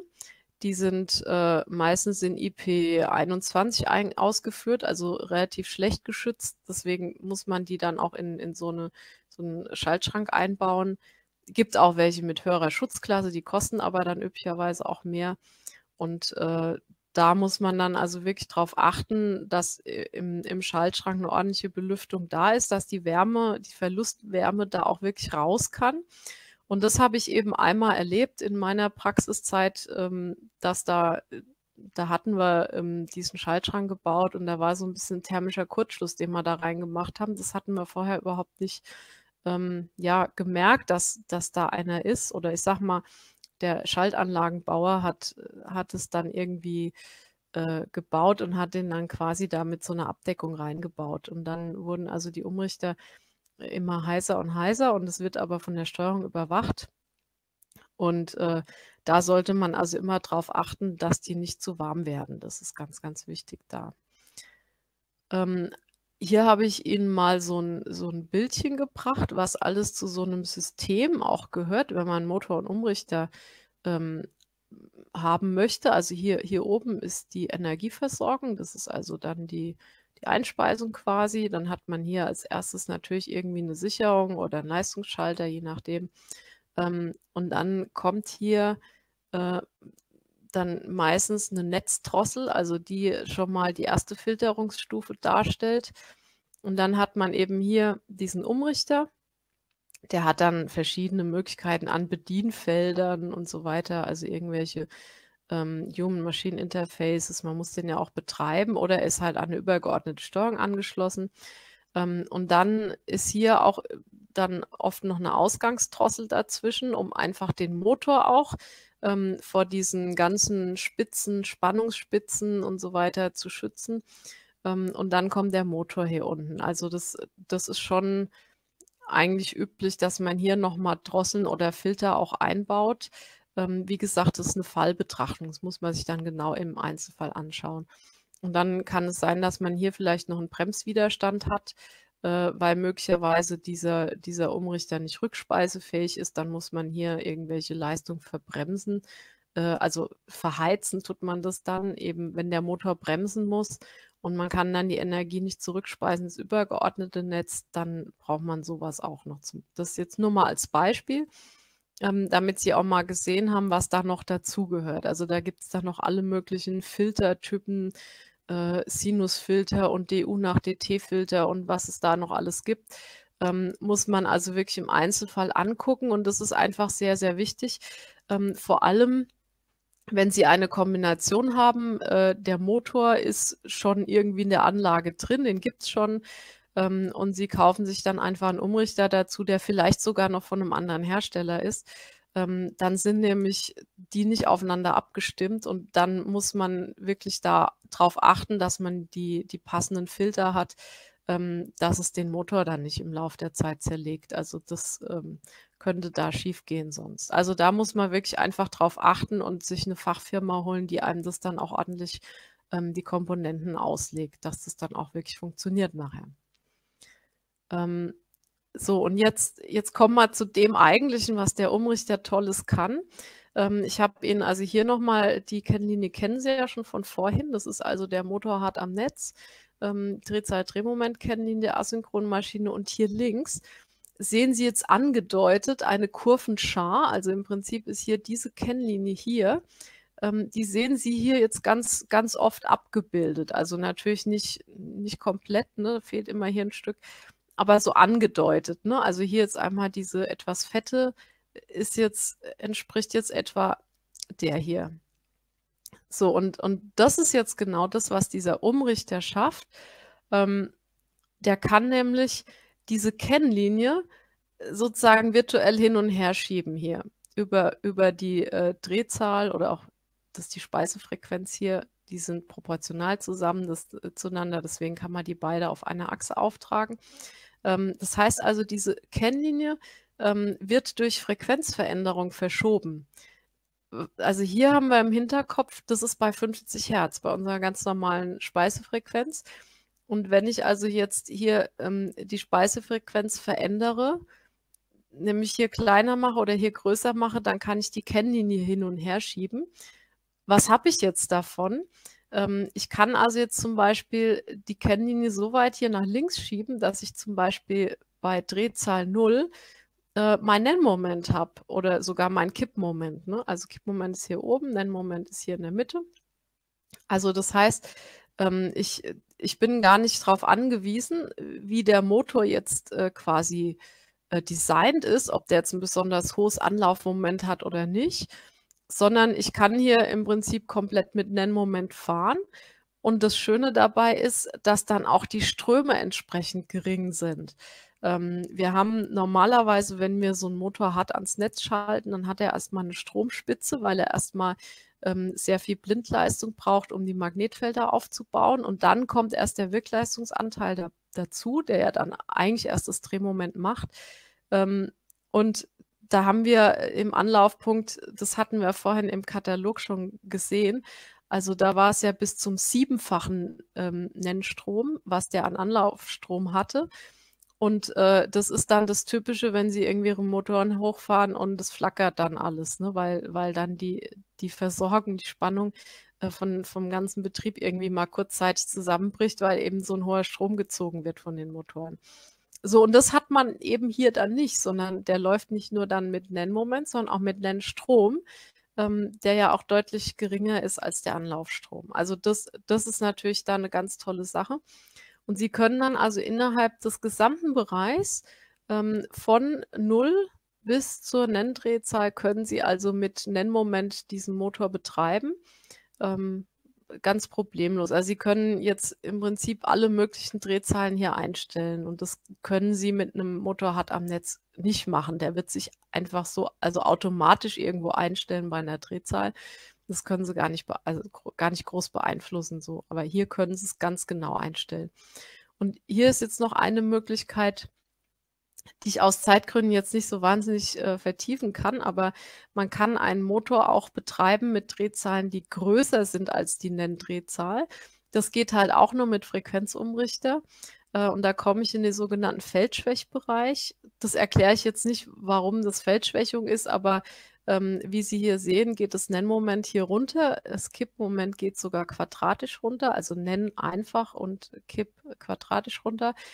Ähm, aber es gibt also Situationen, wo es Sinn macht, einen Motor in der Feldschwächung zu betreiben, ähm, weil es irgendwie die günstigste Lösung ist, die effizienteste Lösung, was auch immer. Also, ich mache sowas äh, das mache ich in meiner Vorlesung mit meinen Studenten, dass ich denen zeige, wie kann man sowas auswählen, wie rechnet man sowas, ähm, was sind da die Unterschiede und, ähm, ja, also das hatte ich eigentlich wollte ich eigentlich hier gerne auch machen, aber, ähm, das da haben wir einfach heute leider die Zeit nicht zu, aber ich kann das anbieten, wen es interessiert, ähm, kann ich sowas auch als Seminar mal anbieten, wie man sowas dann wirklich ganz, ganz konkret auswählt. So, also das wären jetzt, äh, die Vorteile, ähm, der Nutzung des Frequenzumrichters. Und, äh, jetzt habe ich Ihnen auch noch mal 'n paar Beispiele dazu mitgebracht. Was haben wir für Einsparpotenziale? Ähm, das hier ist jetzt eine äh, ein ein Rohrnetz, ähm, heißt also, der Motor muss jetzt irgendwie, äh, ein Medium beschleunigen zu einem bestimmten Volumenstrom. Sie sehen, hier ist der Volumenstrom aufgetragen. Ähm, das ist die Leistungsaufnahme ähm, des des Motors und das hier wäre jetzt hier diese rote Kennlinie wäre also die Leistungsaufnahme, äh, ähm, bei einer mechanischen Drosselung. Also sprich, der Motor läuft hart am Netz und man macht eben jetzt die Variation des Volumenstroms über eine Drosselung, ne? Also 'ne Drossel in in diesem Rohrnetz, die man jetzt irgendwie auf oder zumacht, ja. Und das ist wirklich die totale Energieverschwendung. Und Sie sehen, der hat also hier äh, doch relativ hohe, äh, ähm, Leistungsaufnahmen. Also auch bei sehr, sehr niedrigem Volumenstrom hat er noch eine recht hohe Leistungsaufnahme.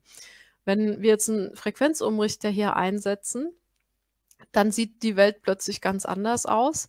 Ähm, ich habe dann also ich muss ja dann nicht mit dieser Drosselung, äh, ähm, arbeiten. Also, das heißt, ich drossle jetzt nicht, ähm, und in in geschlossenen Systemen, ähm, sinkt also die Leistungsaufnahme mit der dritten Potenz des Volumenstroms. Und wenn wir jetzt sagen, wir reduzieren also jetzt den Volumenstrom um 20% äh, dann haben wir eben hier diese dritte Potenz drin mit der 0,8 hoch 3. Das heißt also, die die neue Leistung, mit der ich das jetzt also antreiben muss, ähm, durch den Motor, wäre also jetzt nur noch wen also weniger als die Hälfte von der alten Leistung. Und da sind wir jetzt hier genau in dem Punkt, die, ähm, Entschuldigung, hier sind wir, ähm, 75, 80, wo sind wir denn jetzt? Um 20 Prozent Volumenstrom. Ähm, ja, also äh, muss man jetzt für, für jeden Punkt einzeln hier ausrechnen und dann kommen wir dann eben auf so eine äh, Kennlinie. Das ist die Leistungsaufnahme äh, die untere ist ohne den Frequenzumrichter, nur aufgrund der Druckverluste im Rohrnetz, die wir also jetzt nicht ähm, höher machen müssen durch eine Drosselung. Ähm, und und diese diese lilane Kennlinie ist jetzt hier die Leistungsaufnahme mit Frequenzumrichter, die leicht höher ist, weil ja natürlich die Verluste vom Frequenzumrichter auch noch mit dazukommen. Und genau die Differenz zwischen der oberen roten und dieser lila Kurve ist genau das Sparpotenzial, was ich mit Frequenzumrichter habe. Das ist also eine 'ne richtig tolle Geschichte. Ähm, das heißt also, in solchen Systemen lohnt sich wirklich, mit Frequenzumrichter zu arbeiten. Und, äh, ich habe hier auch noch mehr Beispiele mitgebracht. Das ist jetzt hier eine 'ne Lüftungsanlage. Ähm, da es um eine Bürolüftung und da hat man jetzt erstmal keinen Frequenzumrichter gehabt. Und Sie sehen jetzt, da fängt man morgens um 8 ähm, fängt man da an zu lüften und da ist einfach immer Vollpower. Also, ich habe die Luftleistung ist komplett die ganze Zeit volle Luftleistung und ich habe, äh, also das das ist das Blaue hier und das Rote ähm, ist die Verlustleistung von Motor und Ventilator. Und da ich ja die ganze Zeit mit Vollpower fahre, habe ich da auch die gleichen Verluste. Ist also relativ viel, was ich an Leistungsbedarf habe. Und das wäre hier jetzt auf den Tag bezogen, sind das jetzt in dem Beispiel hier knapp 131 äh, Kilowattstunden. Ähm, und wir haben eben 12 Volllaststunden. Das ist eben genau die Stunden, die die Leute da sind zum Arbeiten. Das ist sogar noch ein bisschen länger, weil man muss ja auch ein bisschen Vorlauf haben zum Lüften.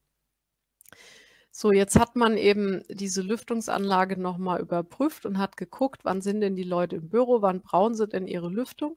Dann hat man das angepasst, hat also auch dann dem Motor einen Frequenzumrichter verpasst, Ähm, und jetzt sehen Sie, sieht es plötzlich ganz anders aus. Die Luftleistungen sind angepasst. Hier sehen Sie, es fängt eine Stunde früher an. Man hat da so eine Vorlüftung eingebracht, damit, wenn die Leute dann zur Arbeit kommen, dass die Luft einfach schon gut ist und nicht abgestanden.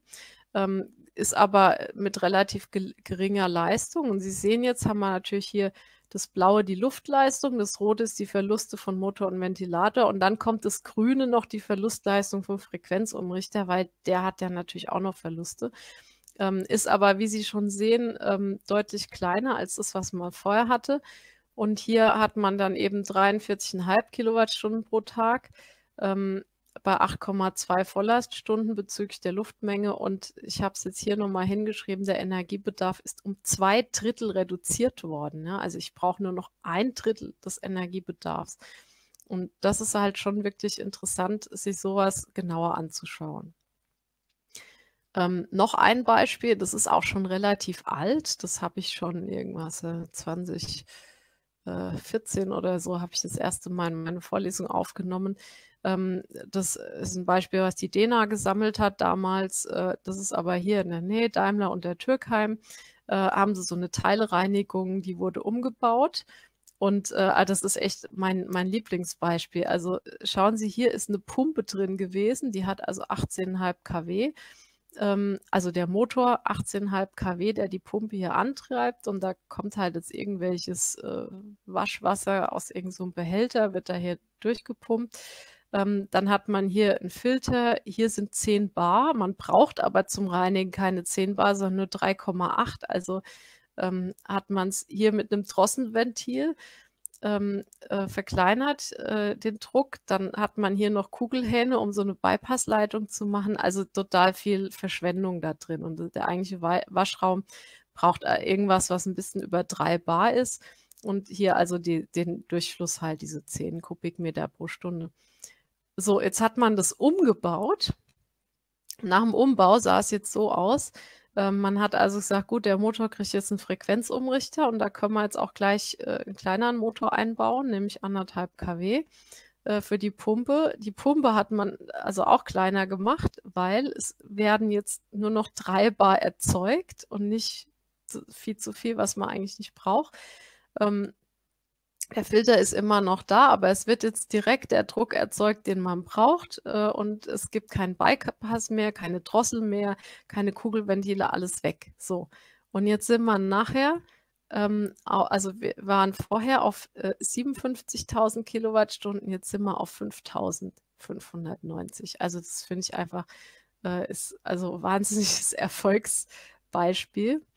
Ähm, und hier ist nochmal zusammengetragen ähm, Senkungsstromverbrauch 51.410 Kilowattstunden pro Jahr. Ähm, also ich spare 90 Prozent äh, von meiner elektrischen Energie ein. Ähm, das Ganze ist schön, ist, hier steht die Investition da, dabei, 3.800 Euro. Ähm, und ich habe also damals ne, eingespart knapp über 6.000 Euro pro Jahr. Das heißt, es hat sich innerhalb von einem Jahr komplett amortisiert. Also das, das ist sofort quasi äh, positiv in den Büchern äh, in, in diesem einen Jahr. Das ist natürlich das Optimum, sowas zu erreichen. Das sind so die Low-Hanging Fruits, aber ähm, ja, ich glaube, bei dem einen oder anderen könnte man sowas vielleicht auch noch finden. Also es lohnt sich dahin zu gucken. So, dann ähm, hatte ich vorhin ja von den Anlaufströmen geredet. Jetzt gibt es noch eine Möglichkeit, also man muss nicht ähm, komplett einen Frequenzumrichter nehmen, man kann auch einen Softstarter nehmen. Ähm, das ist aber hier einfach nochmal, dass Sie das sehen, wie das normal läuft. Ähm, wenn Sie einen Motor direkt anlaufen lassen ähm, am Netz, dann sieht der Strom so aus, sehr, sehr hoch am Anfang und dann, dann geht er langsam so bis auf seinen Nennwert zurück. Ähm, dann gibt es ja noch den Stern-Dreieck-Anlauf, da schaltet man eben um. Erst eine kleinere Spannung und dann eine größere Spannung. Ähm, dann habe ich hier schon ein bisschen reduzierten Strom. Beim Umschalten gibt es also hier nochmal eine Stromspitze, was also auch nicht so wahnsinnig toll ist, aber ähm, ja, also ich habe immer noch hier einen relativ hohen Strom, der ist dann natürlich viel kürzer, aber ich habe trotzdem eine Spitze drin. Und wenn ich einen Soft-Starter nehme oder dann eben einen Frequenzumrichter, ähm, dann kann ich hier mit einem sehr geringen Strom starten ähm, und fahre den einfach dann hoch. und dann äh, irgendwann äh, bringe ich den auf seine Rampe und dann schalte ich einfach den Soft Starter wieder raus. Also wenn ich, wenn ich da keine ähm, Variationen in den äh, Drehzahlen brauche, dann kann ich mit Soft Starter arbeiten äh, und dann habe ich irgendwo einen Schalter, so einen Bypass dann. Äh, das heißt, der Soft Starter wird also dann nur genutzt zum Anlaufen und danach schalte ich den wieder raus.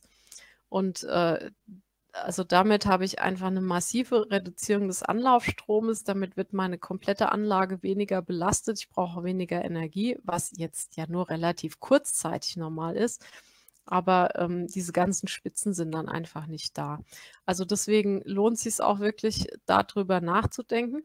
Ähm, ich war vor ein paar Jahren mal in einer großen Firma bei uns in der Region und da ging es um Druckluftanlagen und die haben mir dann erzählt, ähm, ja, sie sie dürfen die nur irgendwie, ich weiß nicht, ich glaube, dreimal die Stunde irgendwie neu anlaufen lassen oder so. Und da habe ich mir gedacht: „Um Gottes Willen, warum das?“ Ähm, ja, habe ich dann irgendwann verstanden, warum, weil die hat am Netz anlaufen und dann natürlich durch diese hohen Ströme ist das alles so so heiß dann, äh, dass die halt dann wieder Zeit zum Abkühlen brauchen. Ähm, das heißt also auch wenn Sie, äh, also wenn Sie FU nehmen oder einen Softstarter nehmen, können Sie auch bestimmte Komponenten einfach auch öfter an und ausschalten, als es äh, mit hart am Netz geht. Also das ist wirklich eine Sache, die man äh, durchaus mal durchdenken sollte. Ja, und dann kommen wir jetzt aufs Gesamtsystem. Ähm, da, das wird jetzt nicht ganz so lang dauern. Äh, da geht es mir einfach darum, dass ich Ihnen auch mal sage, ist nicht nur der elektrische Teil. Wir haben jetzt betrachtet den Motor, wir haben den Umrichter betrachtet. Ähm, es gibt ja aber auf der mechanischen Seite eben auch noch Drehmoment-Drehzahlwandler, äh, also irgendwelche Kardanwellen oder sowas. Ähm, äh, nee, Entschuldigung, das, das wären Getriebe hier. Äh, und dann mechanische Kraftübertragenstellglieder, das wäre dann zum Beispiel so eine Kardanwelle. Also wenn ich irgendwie nochmal, was weiß ich, ein, zwei Meter überbrücken muss, muss oder sowas. Ähm, also auch diese Komponenten haben Wirkungsgrade, äh, die man noch mit betrachten muss. Das ist sehr wichtig und in der Gesamtbetrachtung gehen die alle ein. Also das ist der Umrichter, das sind die Motoren, aber auch jetzt zum Beispiel Getriebe oder ich kann hier auch gleich einen Getriebemotor reinsetzen. Ähm, und wenn ich mir das jetzt mal angucke, wie sich so ein Wirkungsgrad verhält, ähm, Wirkungsgrade werden miteinander multipliziert, um dann auf den Gesamtwirkungsgrad zu kommen. Also hier ein Beispiel, ich habe einen Elektromotor, ich habe ein Stirnradgetriebe und habe eine Seilwinde. Ähm, und jedes Mal habe ich einen Wirkungsgrad. Ähm, und auf den Gesamtwirkungsgrad zu kommen, muss ich die alle miteinander multiplizieren. Äh, und in dem Fall habe ich zwar hier, naja gut, das ist halt ein, wahrscheinlich ein sehr kleiner Motor mit 76 Prozent. Ähm, äh, und, und das Stirnradgetriebe hat relativ große Wirkungsgrade, die Seilwinde wieder ein bisschen kleiner und dann ergibt sich aber insgesamt halt nur 55 Prozent fürs Gesamtsystem. Ne? Also das, das ist halt hier ähm, der Appell auch nochmal zu gucken, schauen Sie nicht nur auf einzelne Komponenten, sondern schauen Sie sich Komplettsysteme an, also die wirklich energetisch miteinander zusammenhängen, ähm, da sind teilweise auch noch Dinge zu holen. Aber das ist jetzt wirklich ja nur so ein bisschen Ausblick, weil wir hatten es ja von elektrischen Antrieben heute. Ja, und äh, hier das letzte Kapitel, Effizienz durch Wartung. Ähm, und das habe ich jetzt hier mal so ein bisschen zusammengetragen. Ähm, also Lebensdauer von einem Motor kann also zwischen 30.000 und 40.000 Betriebsstunden liegen. Ähm, also auch, auch höher, ne, je, je nachdem, wie Sie den eben behandeln. Also bei geeigneter Wartung wird er auf alle Fälle äh, lange halten. Und äh, man muss halt immer ein bisschen aufpassen äh, auf die Bedingungen, ne, wenn sie in korrosiver und aggressiver Umgebung sind, also mit vielen Stäuben, ähm, hat, also dann nutzt er sich halt auch relativ schnell ab. Was heißt abnutzen?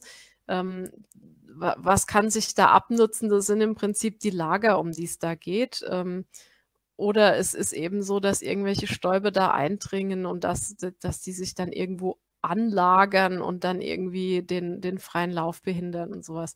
Also das heißt, ähm, je nachdem, was Sie für eine Umgebung haben, gibt es also Spezialmotoren mit besonderer Schutzklasse, die also einfach äh, staubdicht sind zum Beispiel. Ähm, sowas sollte man dann einsetzen ähm, und man sollte halt auch wirklich immer, immer ähm, den Motor regelmäßig mal checken und auch sauber machen. So, die beste Vorbeugung gegen Wärmeschäden. Also Wärmeschäden ist das, was den Motor eben äh, zum Tod treibt, sozusagen. Äh, ist wirklich, wenn Sie ähm, Schmutz entfernen, äh, dann auch irgendwie Über- oder Unterspannung. Das heißt, das ist dann die, die Versorgung vom Motor. Äh, Spannungsasymmetrie, also auch da sollte man drauf achten, weil sonst wird es eben auch im Motor unsymmetrisch und dann führt es wieder zu Ausgleichsvorgängen und so weiter und das macht dann wieder zusätzliche Wärme. Ähm, die Oberschwingungen, die kommen eben entweder aus dem Frequenzumrichter oder werden auch übers Netz eingekoppelt durch andere Umrichter zum Beispiel. Ähm, und auch äh, zu hohe Umgebungstemperaturen. Wir haben ja vorhin gesehen, die 40 Grad sind die, auf, also die er dauerhaft kann. Ähm, aber wenn er in einer wärmeren Umgebung ist und wir haben jetzt Klimawandel und das, das wird wärmer und äh, wenn sie dann in der Fertigung sind, wo es sowieso warm ist und dann, dann brennt die Sonne außen noch drauf und dann sind sie ruckzuck auch mal über 40 Grad. Also da immer aufpassen, ähm, dass er nicht zu heiß ist oder wenn es eben warm ist, braucht er eben noch stärkere Belüftung einfach oder man muss dann auf eine Wasserkühlung gehen. Also äh, zu geringe Belüftung. Das wäre zum Beispiel der Fall, wenn Sie dann einen Motor mit FU betreiben zum Beispiel und äh, den lassen Sie jetzt sehr, sehr langsam laufen. Ähm, und der Eigenlüfter, der, der schafft es dann nicht mehr, die Luftmenge wegzulüften. Das heißt, da muss man dann ein D-Rating machen. Der, der darf dann nicht mehr mit so hohen Momenten betrieben werden. Ähm, oder eben auch Überlastungen, wenn sie zu häufig und zu lange sind ähm, und er sich dazwischen nicht wieder abkühlen kann. Also Sie müssen ihm einfach immer wieder Zeit geben. Sie dürfen Motoren überlasten, aber Sie müssen dann einem Motor Zeit geben, sich wieder abzukühlen und dann ist alles gut. Also das kann man übrigens auch berechnen, das habe ich jetzt nur hier nicht mitgebracht. Wer sich dafür dann speziell interessiert, kann dann auch nochmal auf mich zukommen. Ähm, so, und das Zweite, was den Motor umbringt, ist Lagerversagen. Und ähm, das, da sollte man also auch immer ganz stark auf die Lager achten. Ähm, man, man kann also Lager, das kriegt man eigentlich relativ gut mit, indem man das äh, akustisch testet. Das heißt also, da gibt es Firmen, die sind spezialisiert drauf, dass die ähm, eben äh, die, die, die Geräusche des Motors ähm, sich anhören oder aufzeichnen. Ähm, und dann kriegen die schon relativ früh mit, ob am Lager irgendwas nicht stimmt äh, was ich mittlerweile gesehen habe, ähm, das geht auch über die ähm, Stromversorgung. Also es gibt mittlerweile Umrichter, die haben da so eine, äh, wie soll ich sagen, eine künstliche Intelligenz enthalten, die kriegen dann mit, äh, wenn die Strommuster im Motor irgendwie abweichen von, vom normalen Zustand und die sagen dann, hallo, da ist irgendwas nicht in Ordnung und da sollte man dann wirklich dann auch nach den Lagern gucken ähm, und dann auch immer regelmäßig nachschmieren, also unbedingt ähm, da die Herstellerinformationen äh, beachten und auch das dann auch wirklich machen. Ich sage, ach, braucht man nicht oder so. Das ist wirklich total wichtig. Und dann kann sowas einfach auch sehr lange halten, so ein Motor. So, und ähm, bei Frequenzumrichtern, ähm, die können also auch, wenn man sich um sie kümmert, äh, dann auch zwischen 12 und 20 Jahre halten. Also dafür sind die auch ausgelegt. Ähm, so, und wenn wir jetzt gucken, was sind das die häufigsten Ursachen für Ausfälle, ähm, dann sind es eben zum Beispiel Verschmutzungen, ähm, wenn ich die falsche Schutzklasse habe. Ne? Also wie gesagt, die sind ganz oft in EP21 und da, das ist halt keine besonders gute Schutzklasse. Ähm, das heißt also, ich muss den schon schützen, in irgendeinen, äh, in irgendeinen Schaltschrank unterbringen. Dann ist der schon mal ganz gut geschützt. Ähm, dann haben wir hier Filtermatten. Ähm, das ist üblicherweise für die, für die Belüftung des Schaltschrankes, damit der also frische Luft kriegt und die Wärme abführen kann. Ähm, wenn man da welche hat, muss man die natürlich auch regelmäßig rausmachen. Das ist wie beim Staubsauger. Äh, da kommt dann irgendwann nichts mehr durch und dann funktioniert das Ganze nicht mehr. Äh, oder auch erhöhte Kühllufttemperaturen über 40 Grad. Ähm, entweder eben, wenn es im Sommer besonders heiß ist oder wenn sie einfach, ähm, und es geht schneller, als sie glauben, dass sie irgendwo einen thermischen Kurzschluss haben in so einem Schaltschrank. Ähm, und und dann, dann wälzt sich die Luft nur noch selber um, da kommt keine neue Kühlluft mehr nach. Ähm, und äh, manchmal ist es auch so, wenn, wenn diese Umrichter, wenn da mehrere nebeneinander sind, sind manchmal große und kleine nebeneinander. Und da kann es sein, dass dann ähm, die Großen sozusagen dann die, die warme Luft in die Kleinen reindrücken und so alles schon passiert. Ähm, also da muss man auch im Schaltschrankdesign ein bisschen aufpassen ähm, und da einfach ein bisschen ähm, ja, drauf sensibilisiert sein und dann kriegt man das auch relativ schnell mit, was da passiert und kann dann auch äh, die Umrichter schützen ähm, vor, also vor zu, zu großer Wärme und dann halten die einfach auch viel länger. So, und jetzt bin ich beim Fazit gelangt, angelangt. Also was, äh, was kann man jetzt zusammenfassend sagen? Äh, bei elektrischen Antriebssystemen sind immer noch Einsparpotenziale zu heben. Wir machen das ja schon wirklich seit Jahrzehnten quasi, dass wir da auf Energieeffizienz gehen. Ähm, aber es ist äh, leider, aber es ist immer noch relativ viel drin. Ähm, und Sie haben ja jetzt einiges mitbekommen, was man da machen kann. Ähm, dann sollte man eben auch immer gucken, die Systemgrenzen ein bisschen weiter zu fassen. Ähm, also äh, andere äh, angeschlossene Komponenten noch mit betrachten, weil nur im Zusammenspiel kann man eben auch die größte Effizienz erreichen. Ähm, und dabei ist es ja auch super, dass hier noch weitere ähm, Fortbildungen hier angeboten werden, Webseminare, äh, die sich ja dann auch mit, äh, mit den anderen Komponenten noch beschäftigen. Und wenn Sie das alles zusammen dann ähm, äh, berücksichtigen und dann können Sie einfach noch mehr Effizienz erreichen. Ähm, dann eben ist es so, je nach Anwendungsfall können kann, also nicht muss, aber es kann energetisch und wirtschaftlich sinnvoll sein, Frequenzumrichter einzusetzen. Das muss man wirklich im Einzelfall prüfen. Es ist nicht immer äh, die beste Methode, aber sehr oft.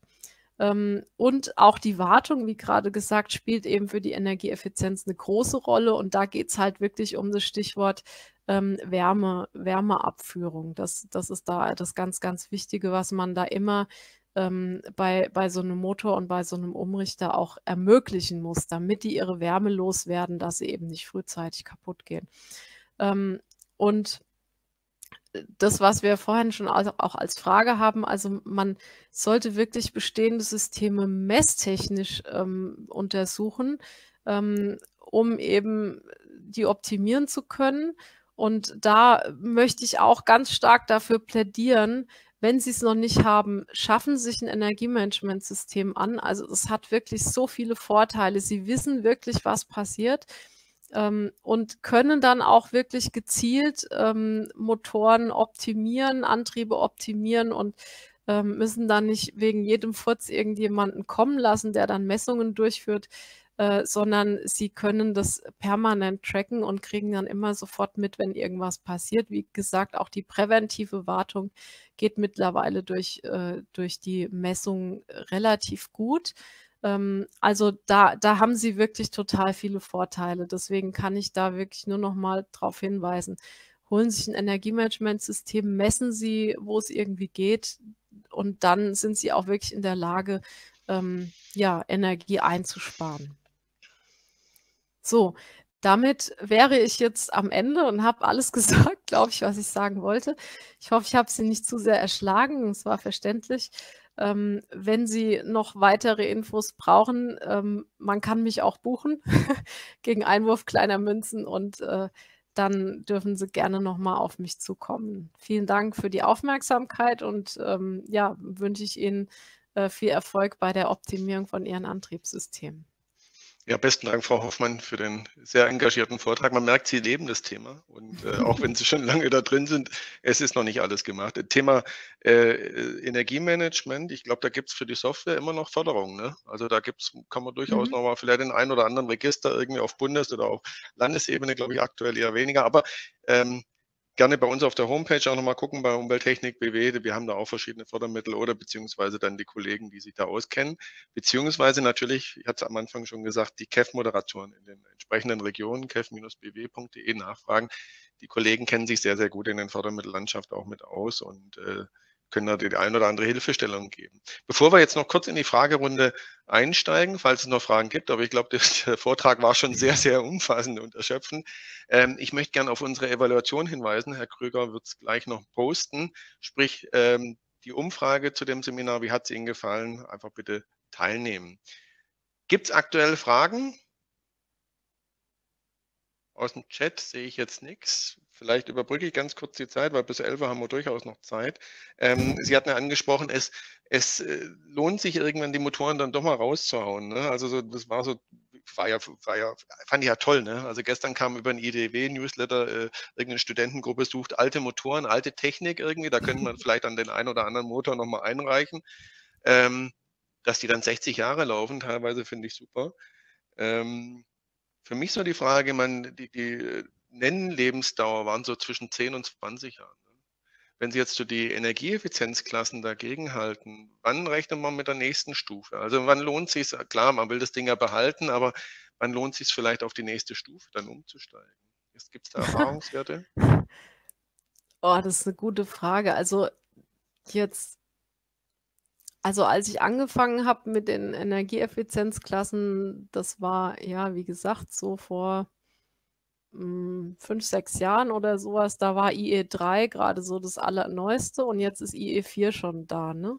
Also ich sage jetzt mal, da waren vielleicht so fünf Jahre dazwischen, ähm, aber viel mehr war es eigentlich nicht. Also da, da passiert schon äh, relativ viel in der Entwicklung, aber man darf da auch nicht mehr zu viel erwarten, weil irgendwann ist es dann auch mal gut. Also ähm, ich habe ja auch vorhin gesagt, bei den kleinen Motoren ähm, ist es also fast nicht möglich, da so Wirkungsgrad zu erreichen, weil man da auch kaum Platz hat. Also das, das hm. geht einfach gar nicht. Ähm, da, da sind wir ja auch, da kommen wir auch nicht so, so weit hoch. Und bei den größeren ähm, bei, bei den größeren wird, bei den Standardmotoren könnte ich mir schon vorstellen, dass noch ein bisschen Luft ist, aber die werden dann natürlich auch teurer, das ist klar. Also das erkaufe ich mir natürlich mit anderen Materialien, äh, mit optimierten ähm, ähm, Blechschnitten, Wicklungstypen und so weiter. Ähm, also das kostet dann einfach auch immer ein bisschen mehr in der Anschaffung. Ähm, und wenn Sie wirklich ganz große Motoren haben, das habe ich ja auch vorhin schon gesagt, dann sind es sowieso immer Maßanfertigungen und dann müssen Sie da eher immer angeben oder das wäre natürlich sinnvoll zu sagen, gut, wie will ich das Ding überhaupt betreiben? Und dann wird ja genau auf diesen Betriebsfall wird, wird dieser Motor dann optimiert. Das heißt, dann kriegen Sie ja schon wirklich das, das Nonplusultra sozusagen. Also wir reden ja eigentlich nur von einer Leistungsklasse, die irgendwo ist von äh, vielleicht so von einer zweistelligen bis dreistelligen kW-Zahl, wo man noch bei Standardmotoren sind. Ja, davon reden wir jetzt. Und ähm, ich habe aber wirklich von IE5 habe ich bisher noch gar nichts gehört. Ne? Also weiß ich jetzt nicht, ob es da jetzt wirklich so stark weitergehen wird. Also spätestens nach zehn Jahren durchaus nachschauen, ob es ja. etwas Neues gibt. Ja, da könnte man noch mal nachschauen. Aber jetzt, ich meine, äh, also wenn man mal in die Kataloge schaut, ähm, sie kriegen wirklich nicht für alles den IE4, ja. Also die kleinen, das, das geht gar nicht mehr. Ähm, also das sind wirklich dann nur noch größere. Ich hatte jetzt gerade für die Vorbereitung, ähm, hatte ich, hatte ich nochmal äh, aktuell reingeschaut und wenn Sie IE4 auswählen, dann ist die Auswahl noch relativ stark eingeschränkt. Also so viele gibt es da gar nicht, ja. Also da tut sich im Zeitablauf dann auch noch, gibt es vielleicht noch weitere Entwicklungen. Ja, aber wie gesagt, eher bei den größeren. Bei den kleineren ist dann irgendwann auch mal Schluss, ja. Mhm.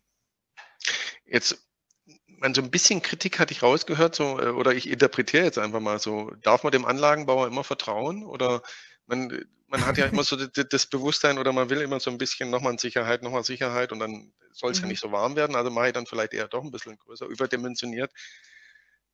Äh, sollte man den Anlagenbauer, den den Hersteller durchaus noch hinterfragen, sagen hier, hm, ja, kann man es nicht kleiner machen? Also es, es gibt einfach welche, die, die achten da nicht drauf. Also ich hoffe mal, dass das jetzt langsam äh, anders ist, äh, dass auch Anlagenbauer auf die Effizienz ganz stark achten. Aber äh, das war in der Vergangenheit auch äh, schon öfter mal, dass, dass der Anlagenbauer halt einfach nur auf die Performance geachtet hat und hat halt geguckt, äh, wie kommt da halt irgendwie das beste Produkt raus und wie ist halt die Anlage dann möglichst günstig, weil das ist halt auch das Problem. Der Einkauf, der wird ja incentiviert auf die ähm, Investitionskosten äh, und den interessiert es gar nicht, was also da im laufenden Betrieb irgendwie gebraucht wird. Und das ist halt so ein großes Dilemma. Und äh, da ist auch wirklich der Hinweis, äh, machen Sie Vorgaben für, für den Anlagenbau und sagen Sie also, ich will hier besonders effizient sein und da müsst ihr euch was einfallen lassen. Thema Lebenszykluskosten, eben nicht nur Invest, sondern ja. wirklich auch dann mal den Energieverbrauch über sagen wir mal, die Nennlaufzeit dann von zehn Jahren zu berechnen und zu sagen, okay, lohnt sich oder lohnt sich eben nicht. Genau. Ähm, Sie hatten so ein bisschen auf der letzten Folie so, vielleicht auch ganz abschließend, äh, so ein bisschen dargestellt. Aber jetzt von der Strategie her, jetzt habe ich so einen Elektromotor, wie gehe ich denn jetzt vor? Erst messen, äh, was mache ich? Soll ich, eine, soll ich einen KEF-Moderator hinzuziehen? Soll ich den, den äh, mir schauen, äh, recherchieren, was gibt es für, für Motoren aktuell? Wie, wie, wie ähm, wäre Ihr Vorschlag? Ihr Vorschlag ja, also als erstes messen. Also wenn Sie schon ein Energiemanagementsystem haben, dann gucken Sie da mal rein, wie die Verläufe sind. Ähm, und wenn Sie keins haben, dann holen sich jemanden, der da mal eine Messung macht. Ähm, wir haben übrigens sowas äh, und, und können da Messungen machen. Und äh, aber gibt es noch ganz, ganz viele andere Leute. Wir sind ja nicht die einzigen, ja. Ähm, so, da kann man natürlich auch äh, den KEF-Moderator fragen, ob er jemanden vermitteln kann, der Messungen macht. Ne? Das wäre, also Messen ist immer der erste Schritt. Man muss einfach wissen, was da passiert. Und äh, dann, äh, wenn man sich selber zutraut, kann man sich selber einen neuen Motor auswählen. Ähm, also wenn es hart am Netz ist, dann sehe ich da auch nicht wirklich ein Problem. Aber wenn es mit FU ist, dann äh, würde ich mir einen Spezialisten holen, weil, wie gesagt, da muss man gucken, welche Filter und Drosseln und so weiter man braucht. Und das ist schon echt eine Sache für sich. Gut. Ich habe gesehen, es kamen keine neuen Fragen über den Chat. Wir sind auch bei den 11 Uhr. Ganz herzlichen Dank nochmal, Frau Professor Hoffmann, für, für den tollen Vortrag. Wie gesagt, äh, Adresse ähm, war eingeblendet. Frau Hoffmann ist erreichbar per Mail natürlich, falls es und buchbar. Genau, das fand ich schön für, für kleine Groschen. Ne?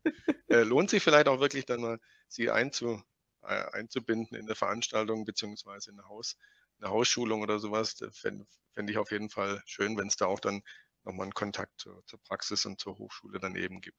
Äh, Herr Krüger hat gerade noch gepostet für die nächsten Anmeldung Lüftungsanlagen. Sie können sich im Chatverlauf, können Sie auch gerne draufklicken, sich gleich anmelden für den 26. November.